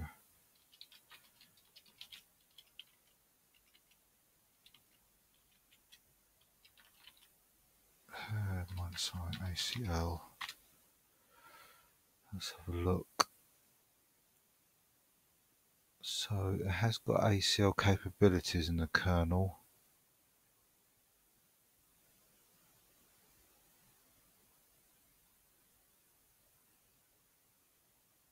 Um, so I'm not sure why.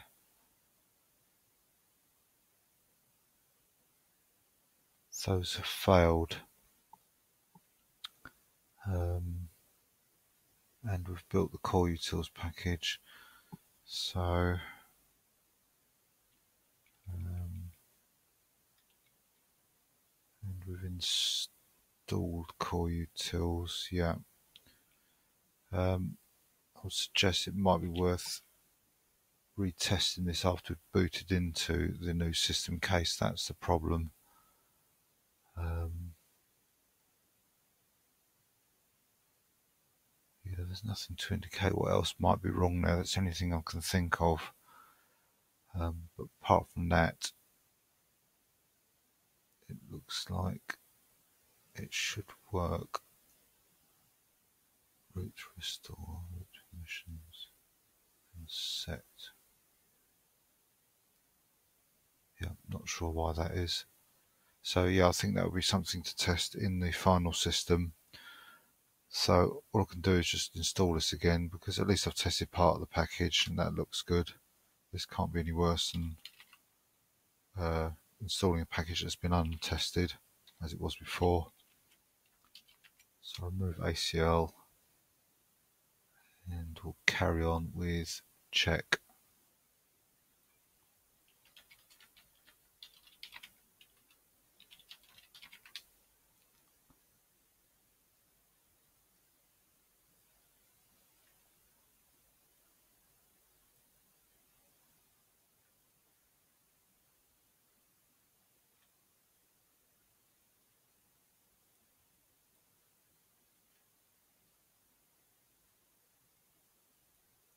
So that's all passed. Oh, sorry, no, it's still going. I thought that had finished then. Okay, so it actually says two SBUs with the test, so we'll give it a chance to complete.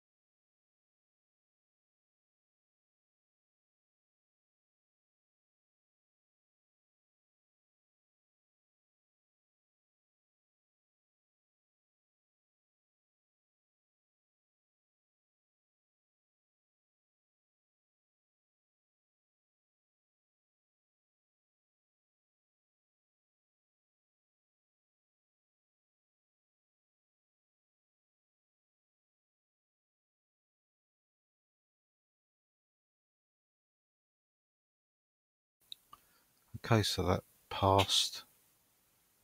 So now I can install it and that's done.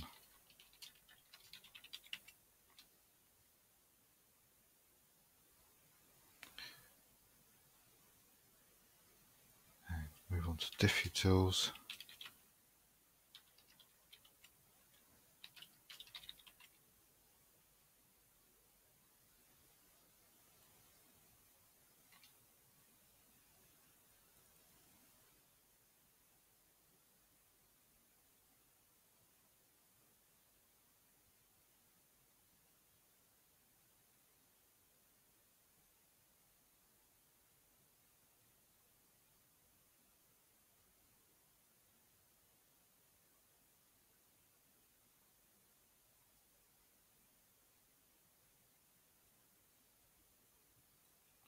Check what we've built.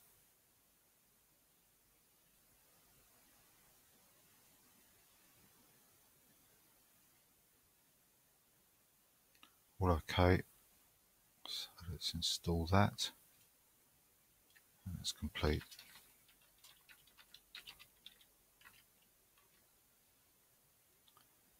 Move on to Gawk.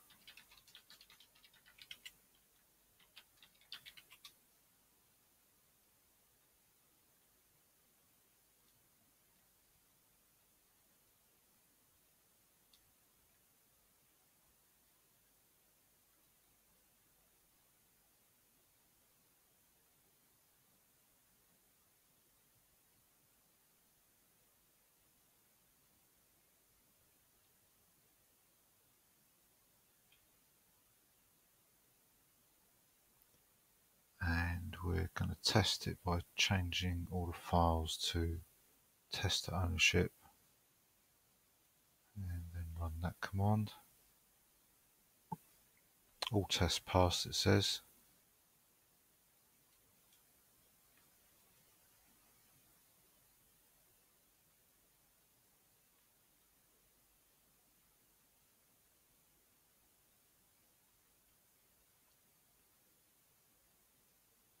Symlink and install some documentation.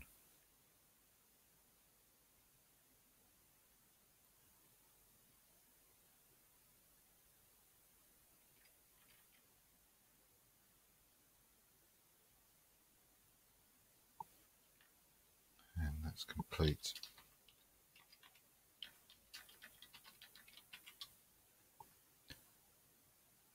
Findutils next.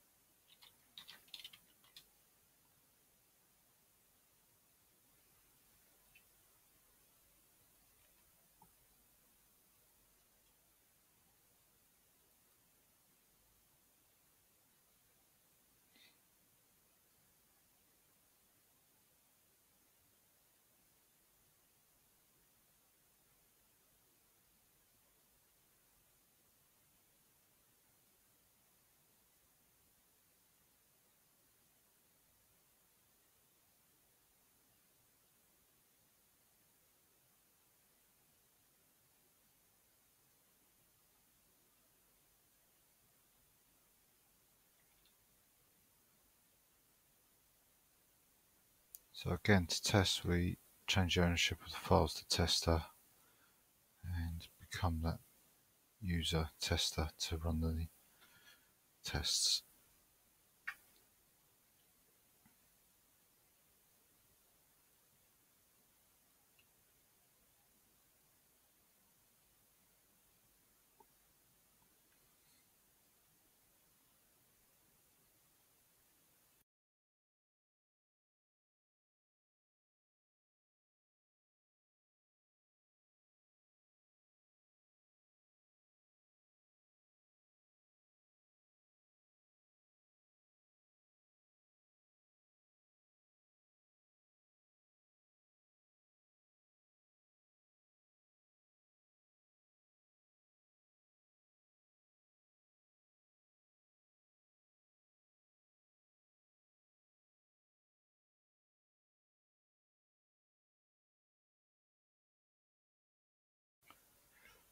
Okay, that's complete so we can install. It's all passed.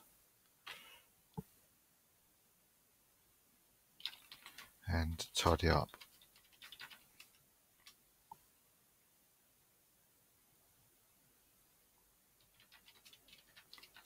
So Groff and we need to put this in and set the page size we wish to use. So it's usually letter for US and A4 probably for everywhere else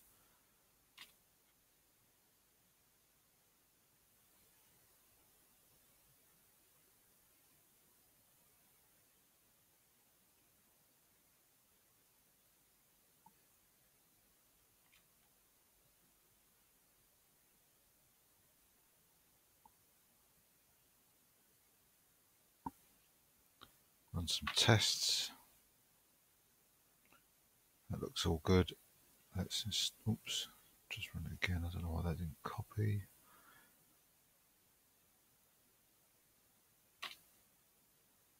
And that's done.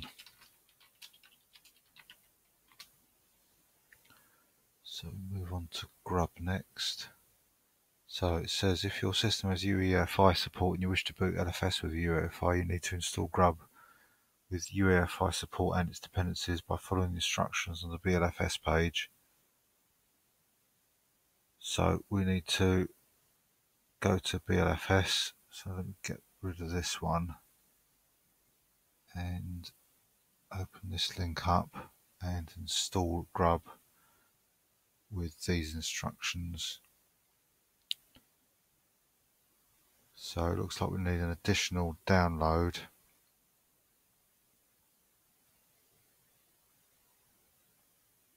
And we've got some dependencies here. We've got EFI Boot Manager which is needed at runtime, FreeType, and I won't bother with the optional dependencies. So FreeType. So I'm not going to install these other recommended packages um, I'm not sure if which is needed actually. I'll try and install without them and if anything happens then I'll install them. I can't remember exactly what's needed to be installed. Uh, what I'm going to do here is create a BLFS directory because we're in BLFS now. We've gone off the LFS book. It's unfortunate it's like this but that's the way it is.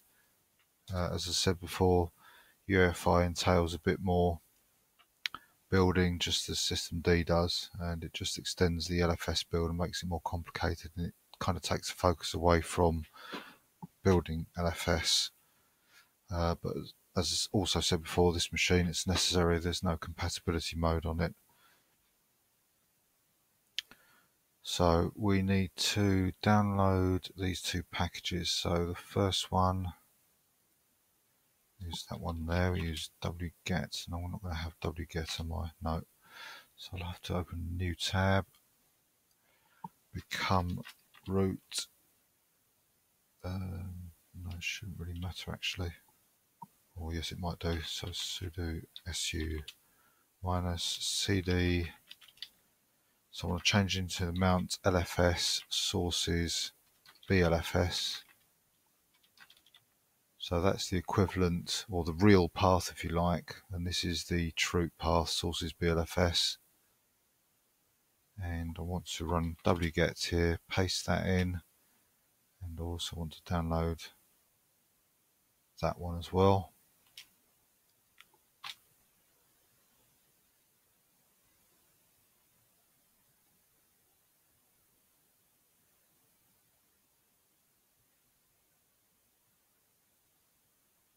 And just to be sure what I've got is good. I'll just double check the signatures. So the first one looks okay. Just look at the first few and last few characters. And that one looks okay as well. So let's go back here and extract FreeType now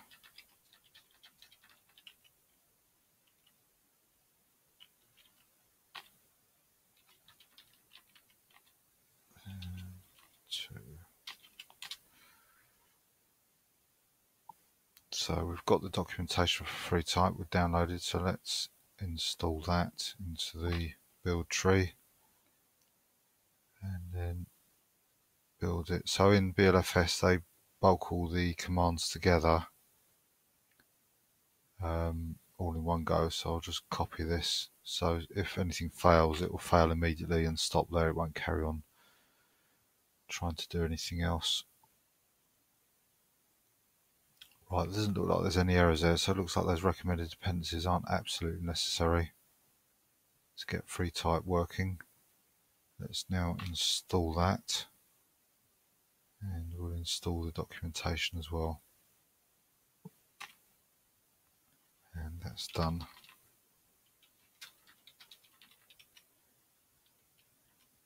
So that's FreeType done. Now we go back to EFI Boot Manager. We've got two dependencies for this.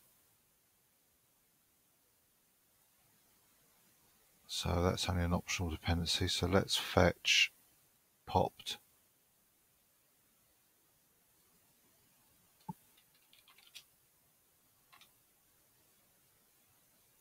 Again, check the signature of popt. Make sure it matches. Yep, that looks good.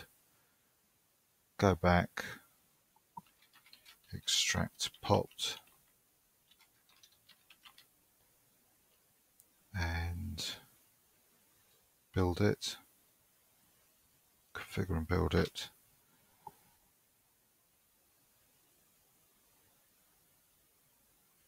That's all finished. We can run some tests. Uh, in fact, I don't think I will run these tests because this is assuming we're running these as the ordinary use, although there's no warnings actually, so I guess I could run them. Uh, normally there's a warning about running tests as root if they're dangerous.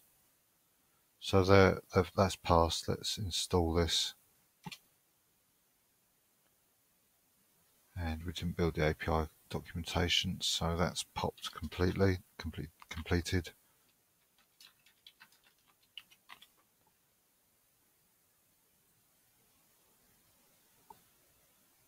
So now we've got efivar and it's got mandoc as a recommendation.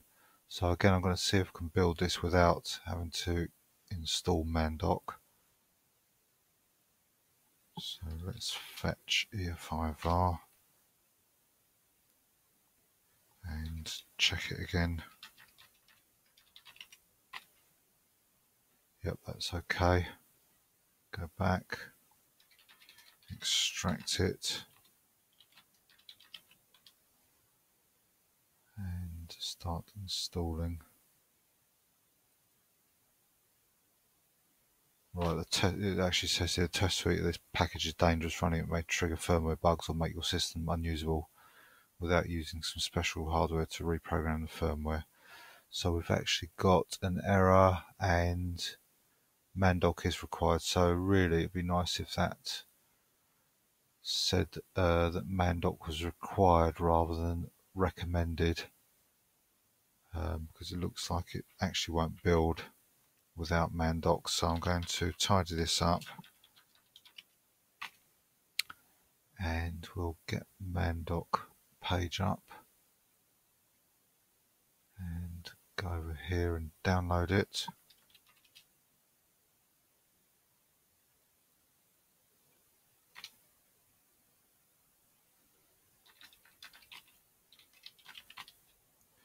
check the signature, that looks good. Back again, extract man doc.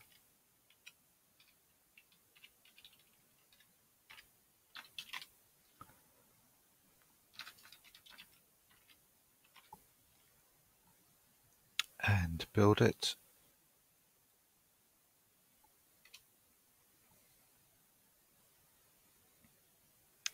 Test the package with this command here.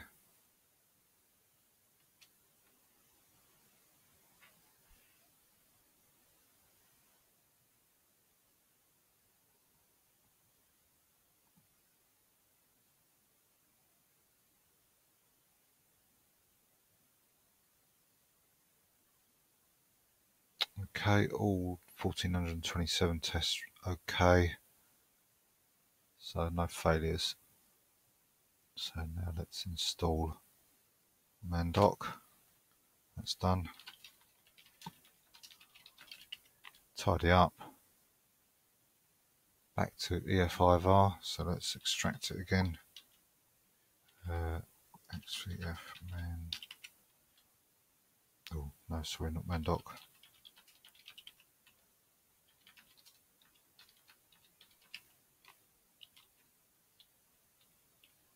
I want to keep catching the S button.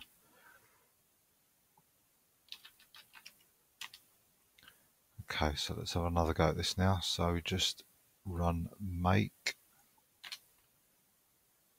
That's better. And install it.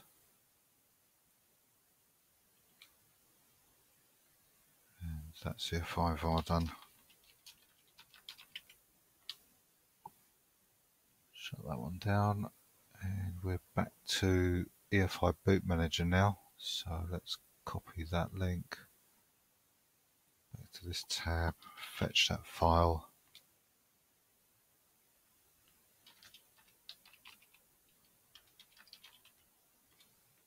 And that ties up, so that's okay.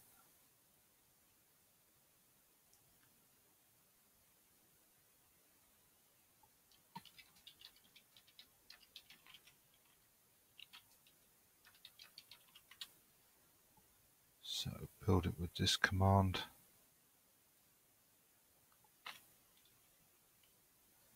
If I boot, what's gone wrong here?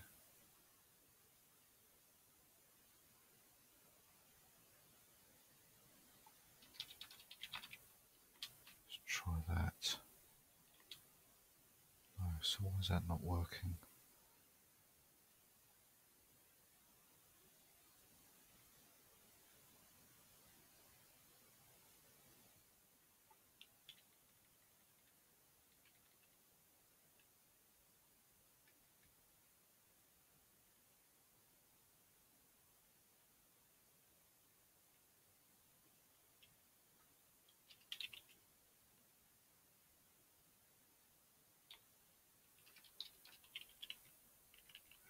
It include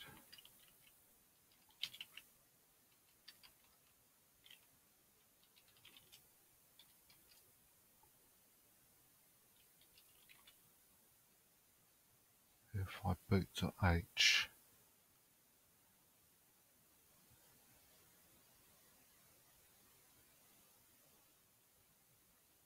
I don't know why that's not being found.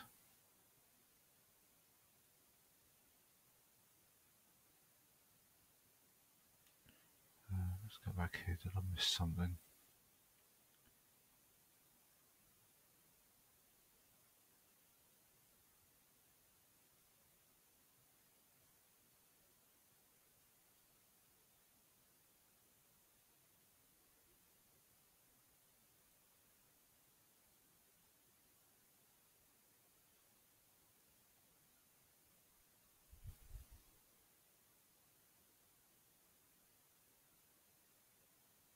Right, I'm not sure why that's not being found. Oh, package popt not found.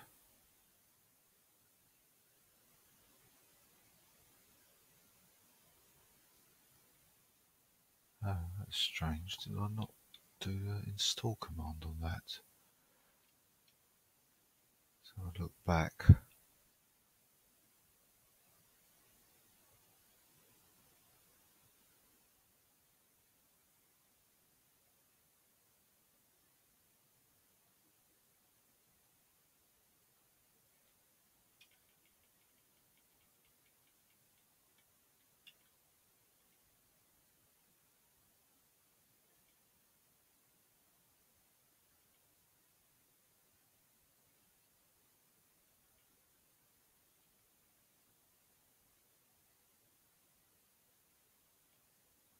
So I accidentally reran it. Oh yes, I haven't.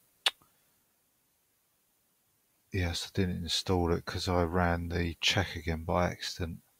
Okay, so let's um,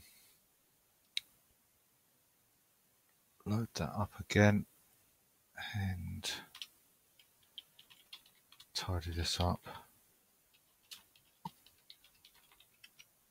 So I think I was a little bit hasty and thought I'd completed it. So let's redo popt.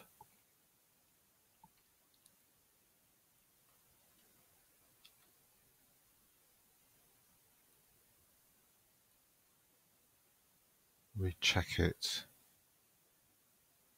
That's all good. So let's make sure this works. I thought I did this command. Maybe it didn't copy properly and it copied uh, and it just reused the previous command.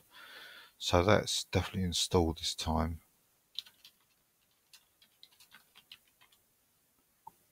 So let's shut that down and go back to EFI Boot Manager.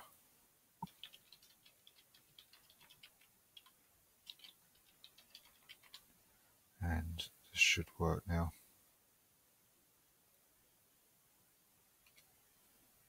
Yeah, that's better. And as the root user, install it. Now, does this go into this option specifies distros subdirectory under boot EFI EFI? So I need to actually mount my boot partition now. Um, so I need to mount, uh, what are they?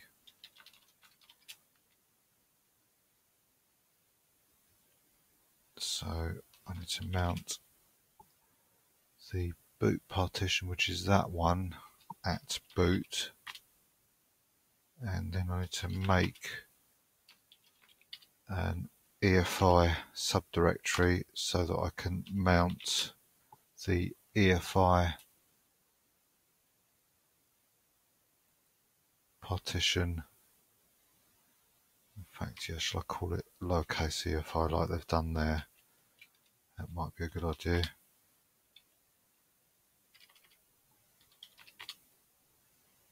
And then mount the EFI partition at boot EFI. Okay, now should be able to run this.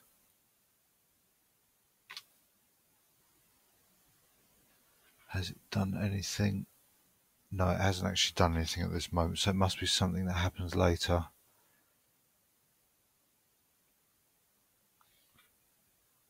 Let's look to see if anything has actually changed there.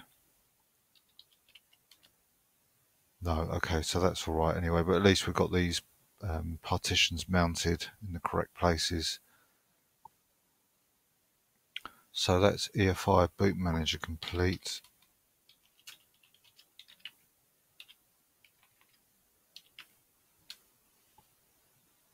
And we can go back to grub. Oh yeah I think there's something wrong with this mouse. It's ignoring the movement. I wonder if there's a dodgy wire or something. Um, let me try another mouse.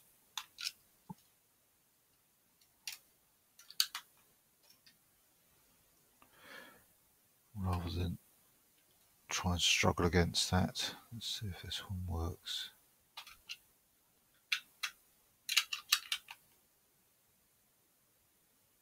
Right. It looks like this one's having troubles as well. Oh right, okay, so that's got a flat battery. Let's get another battery.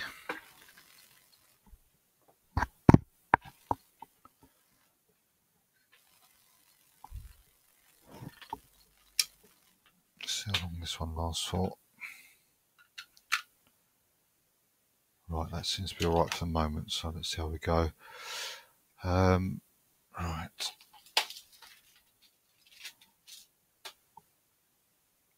Okay, so we've removed that. We can get rid of this. And right, okay, now I've got to get used to the mouse that's a little bit faster. It's overshooting everything I want to point at. Um, okay, so we've done FreeType, we've done EFI Boot Manager, so we should be able to download these files for Grub. Uh, let me slow this mouse down, it's too fast. Uh,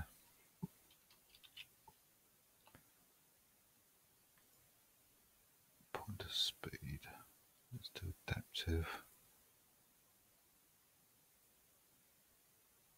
That's a bit better. Let's see, how I'll go with that. Right, so yeah, let's download. We've got Grub. We should have Grub already. It's this Unifont that's needed.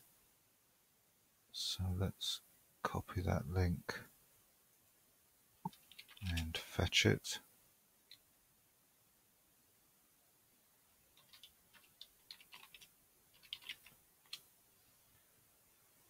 Yep, so that's okay. Let's go back here.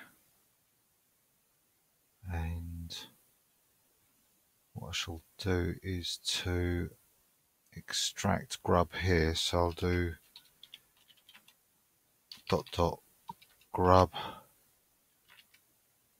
212, yep, that version matches, cd grub, and then I'll be able to just copy and paste these commands and they should all work, even though I'm not in my source directory. This is still a bit fast, this mouse.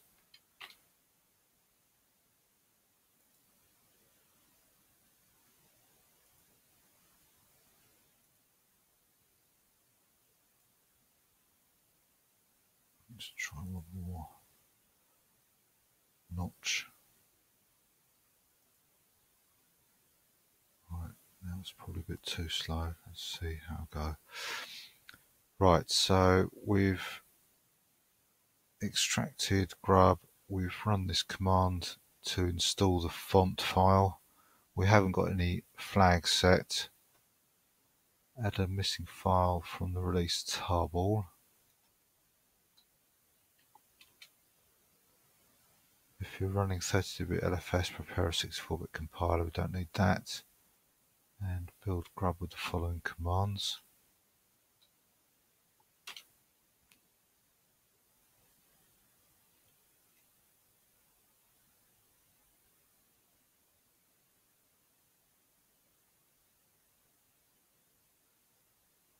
Okay, so it looks like there's a typo there. It says now if you skip the LFS grub package, so I assume that should say skipped, which we have done because we've come here to install grub. So we'll need to run these two commands when the compiler's finished.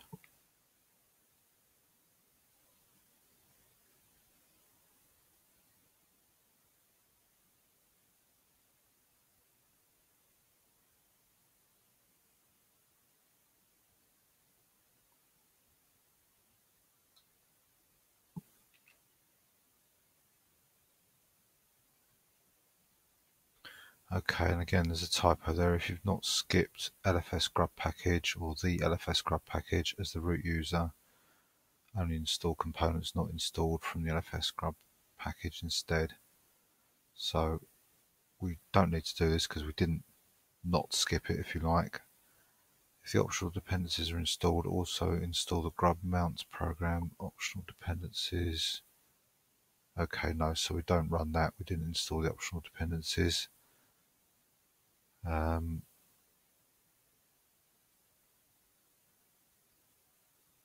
so it does say you can omit FreeType, which is what I've done before, but it does say that the um, either fonts, some text won't be displayed or will be displayed using a coarse font in a small region of the screen.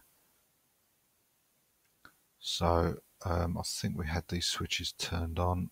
Yeah, we did, so that's all okay configuring grub so we need to move on to the next part which is this one already highlighted. You can see we've been there already. So let's go there see if there's anything else to do. So there's some kernel configuration we must do. Emergency boot disk um, I think we can't do anything more there until we've got further into building the LFS system. So what I should do is just tidy up this grub now and go back to the LFS sources directory and carry on and leave this page up to deal with when uh, we're at the appropriate point in the book. So let's move on to gzip now.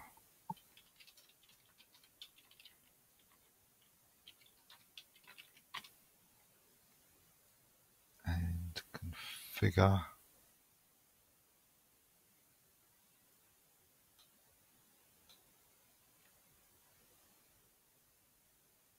Uh, right, let me.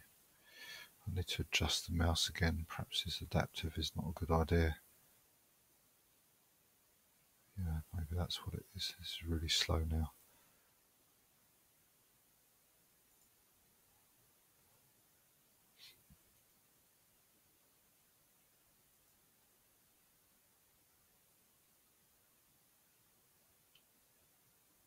Right, let's see, it just seems to be behaving slightly differently, this mouse to the other one. Um, right, so that's configured.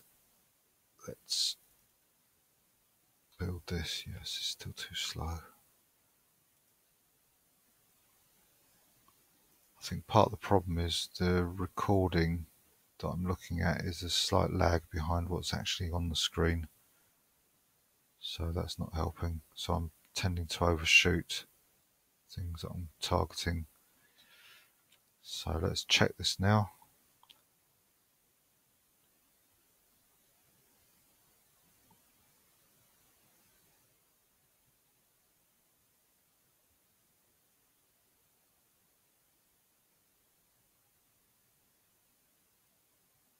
all good. And let's now install. And that's done.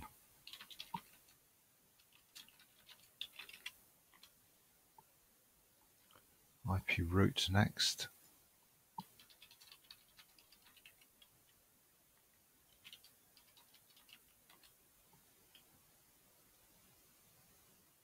So just do some modifications here as explained in that paragraph at the top and compile the package.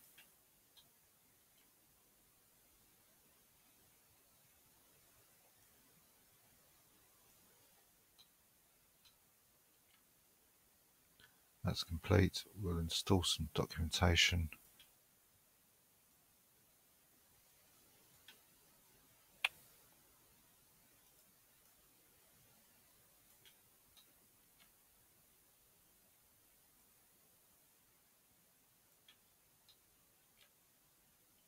Okay, that's done.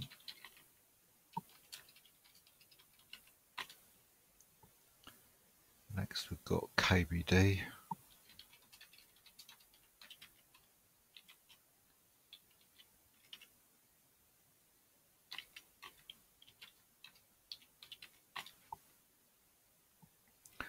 So we've got this patch to put in.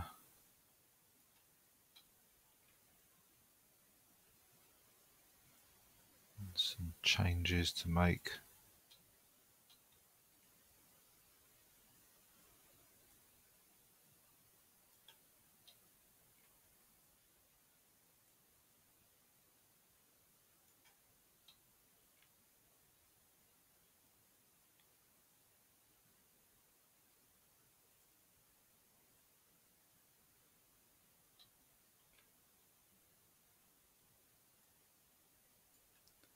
Some tests, locate and install.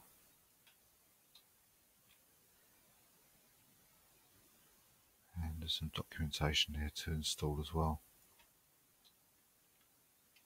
That's complete. So now we can move on to lib pipeline.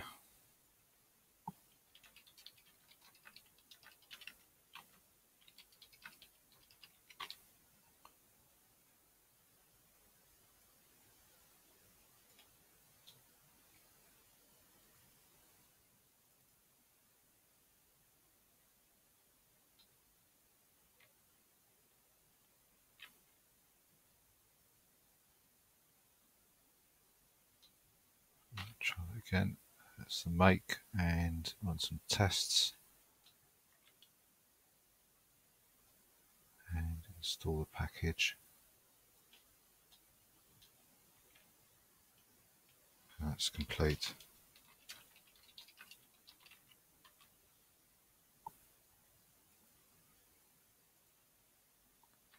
So now we're going to do make.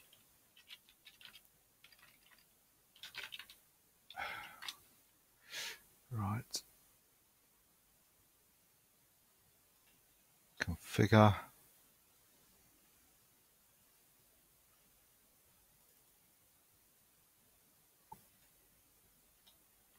Build. Change the ownership of the make directory to or the contents at least, to tester and run the checks as tester.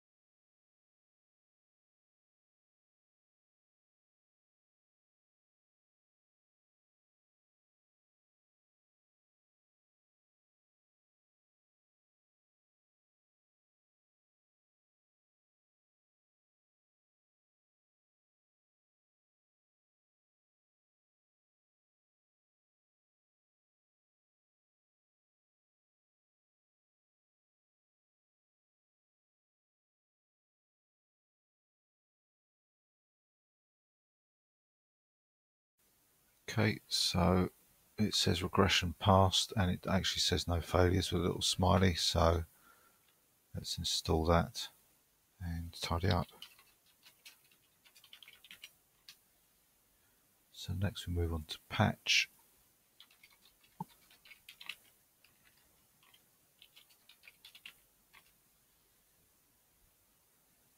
And we run configure.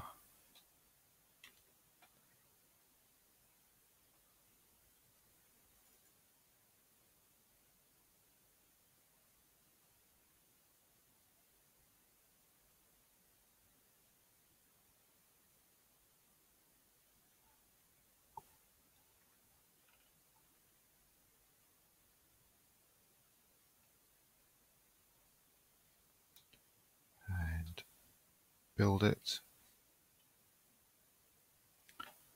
and run some tests.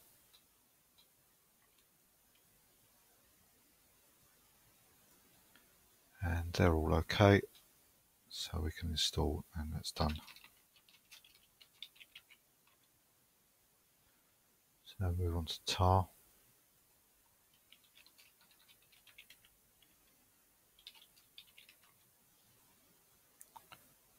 Configure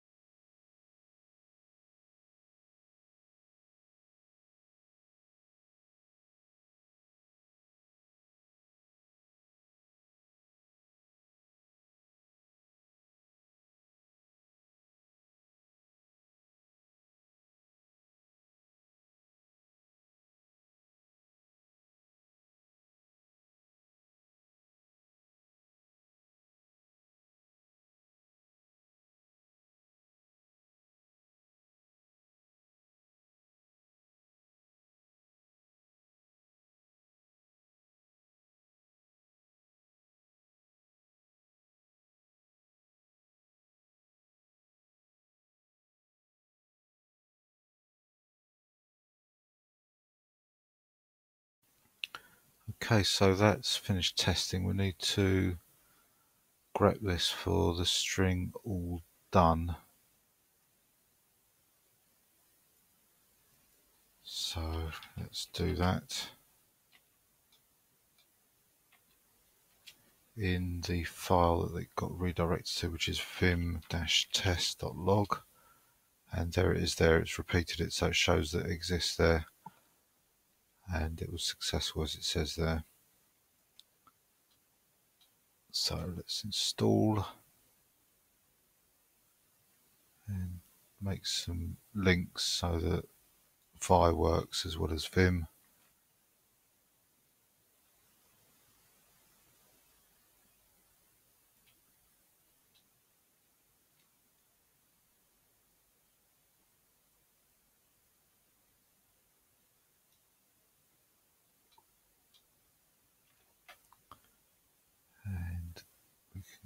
Configure this.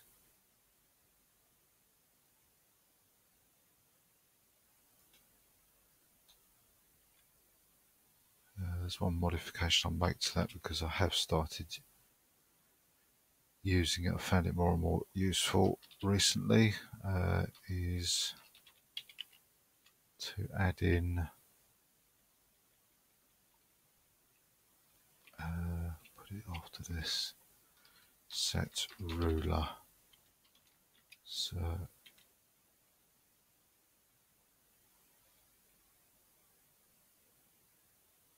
Oh, looks like it might have been defaulting to that. Uh, oh yeah, uh, no, yes it is. It looks like maybe the defaults have changed. Um, it's to basically for me to provide that the column and row number so maybe the defaults maybe these defaults here they're being included maybe they never were before possibly. Uh, so I won't touch anything else in that then. And that's that. So now we move on to MarkupSafe Okay, this looks like it's a capital M. Yep.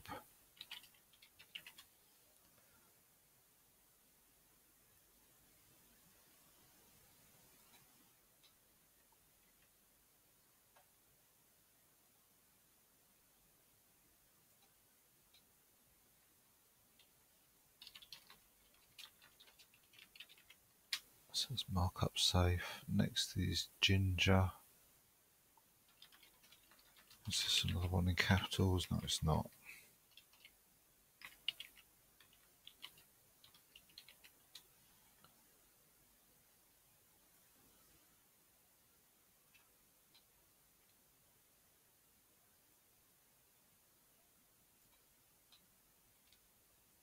And that's that.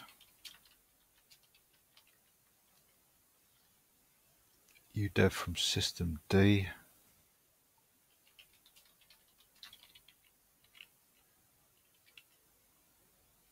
So 256.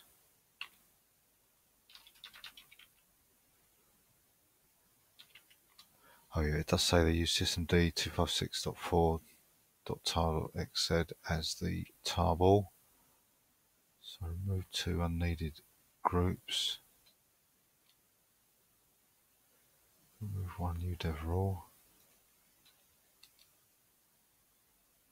Adjust the hard-coded paths to network configuration files.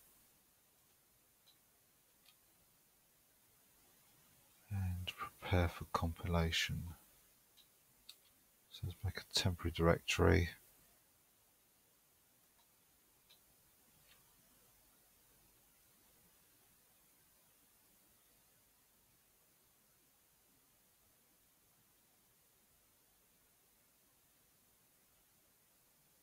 We need to export this variable here.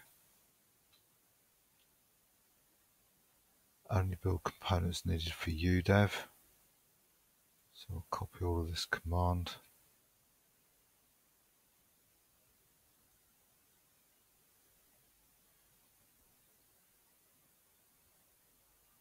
and install the package. So we'll do one of these at a time.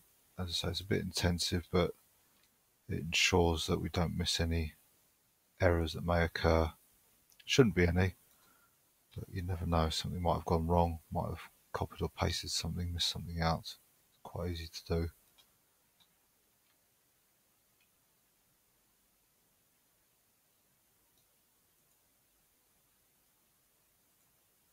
If we get this mouse on the right line.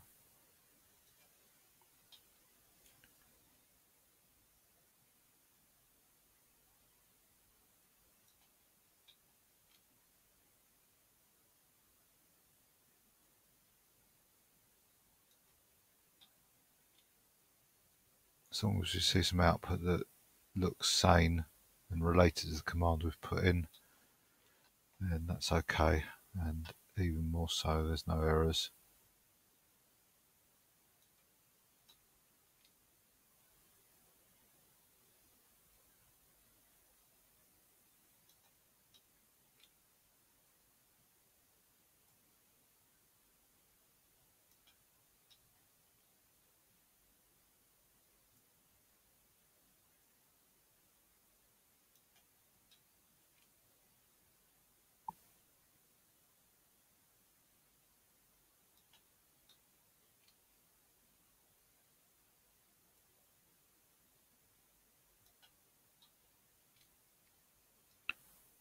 There.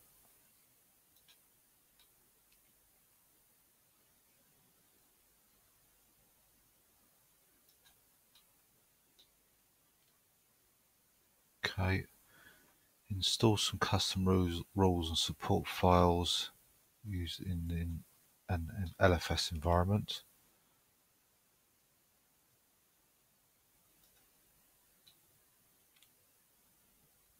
Install some man pages.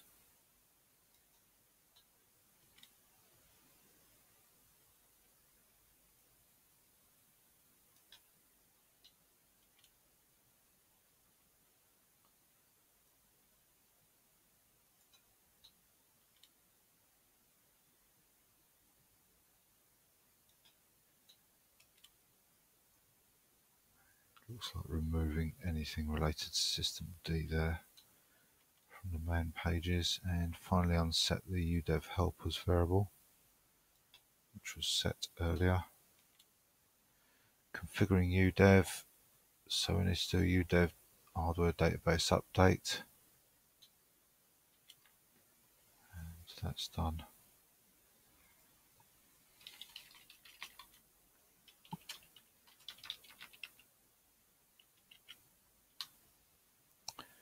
ManDB next.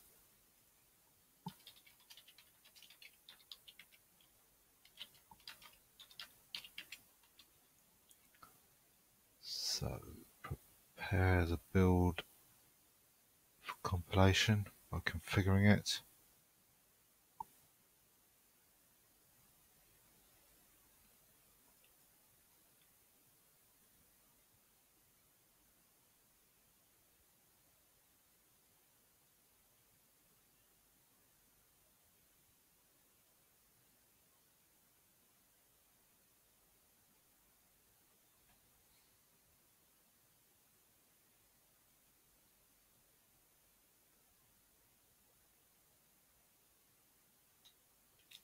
Build it. And run some check oops. Run some checks. That's all okay. Let's now install right. Now this mouse is causing problems. Okay and that's done so some information there about other languages.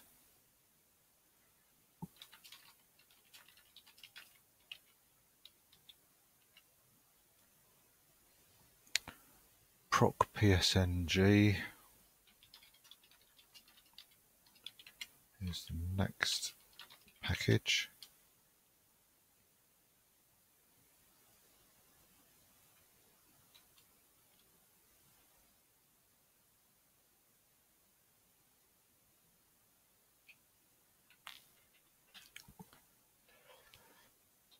let's build it. And run some tests as the tester user.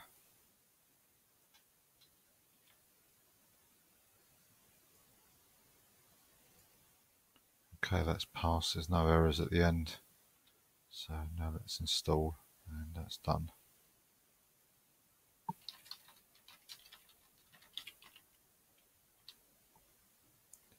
So util-linux next.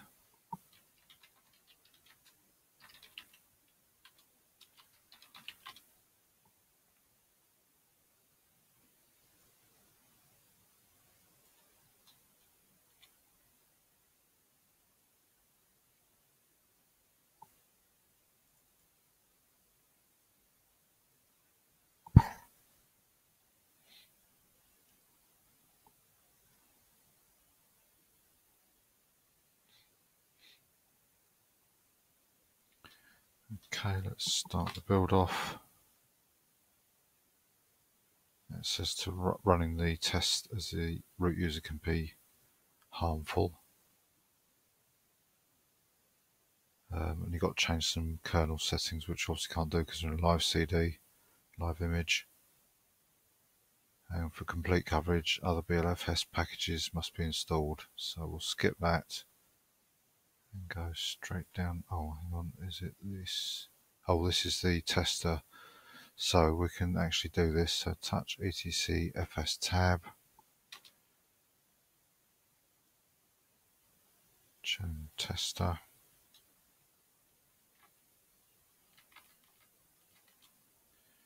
And run the tests as the tester user.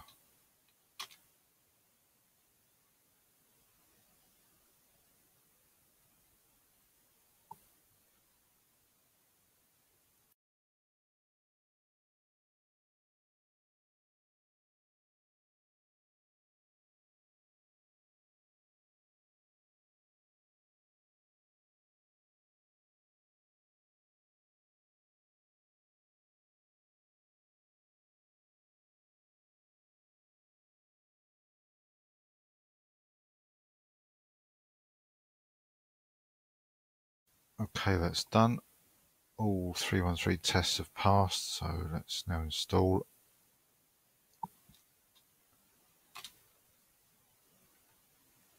And move on to E2fsprogs.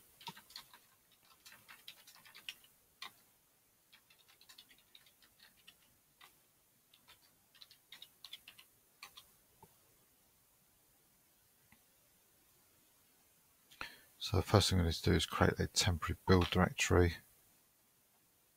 And now we can run the configure command.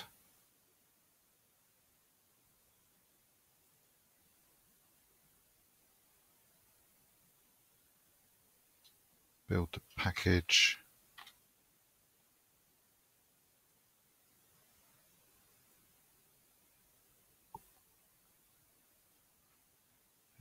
Run some tests.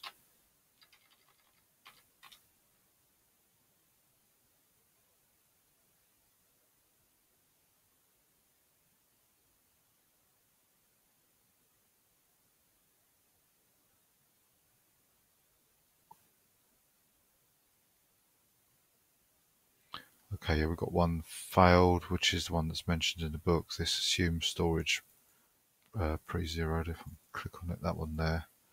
So that's fine. Let's install. Review the static libraries. Okay, that's not worked again.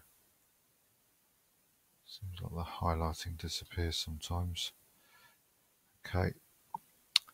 This package installs a gzip file but doesn't update the system-wide dir. Unzip this file and then update the system dir using the following command. So unzip it and install it and some additional documentation can be created and installed.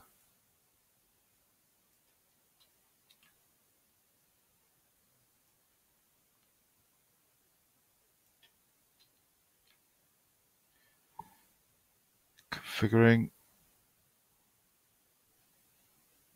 Um, some utilities not in cannot recognize the XT. Right, okay, so nothing in LFS or BLFS will be affected by that, but it says here how to modify the defaults in case that is a problem.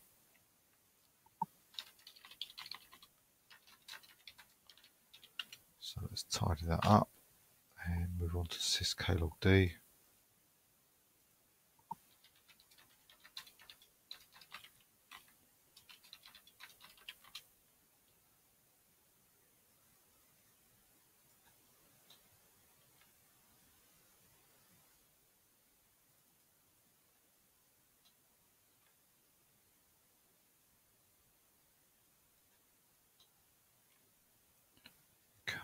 so that's done. Let's configure it, or at least create a configuration file, and that's done. And move on to sysv init.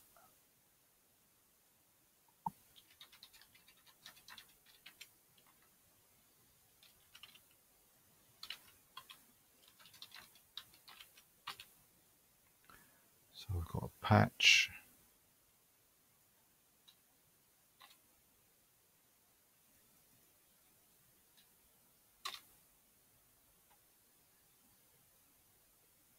Make install and it's done.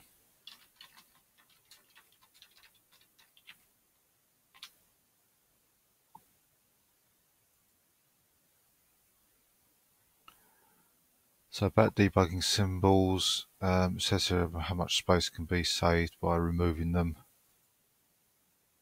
Um, and stripping it's entirely optional if the intended user is not a programmer does not plan to do any debugging of system software. Um, you can decrease the system size by 2 gigabytes. Um, most users or most people who use the commands below do not experience any difficulties. However, it's easy to make a mistake and render the system unusable. Um, so before running strip commands, it's a good idea to make a backup of the LFS system in its current state. So I have had problems with this before, and I'm not sure if it's something I've been doing elsewhere. Um, and because I'm not really 100% sure what it is that causes it, I'm not going to do this this time. Um, just in case. Um, but otherwise, it does save roughly the amount of space uh, mentioned. So I'm just going to go straight on to cleaning up. Um, we can remove stuff left over in temp. Delete these LA files.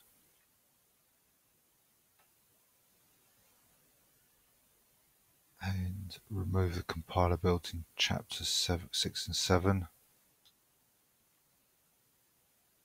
And remove the tester user. So next we move on to system configuration.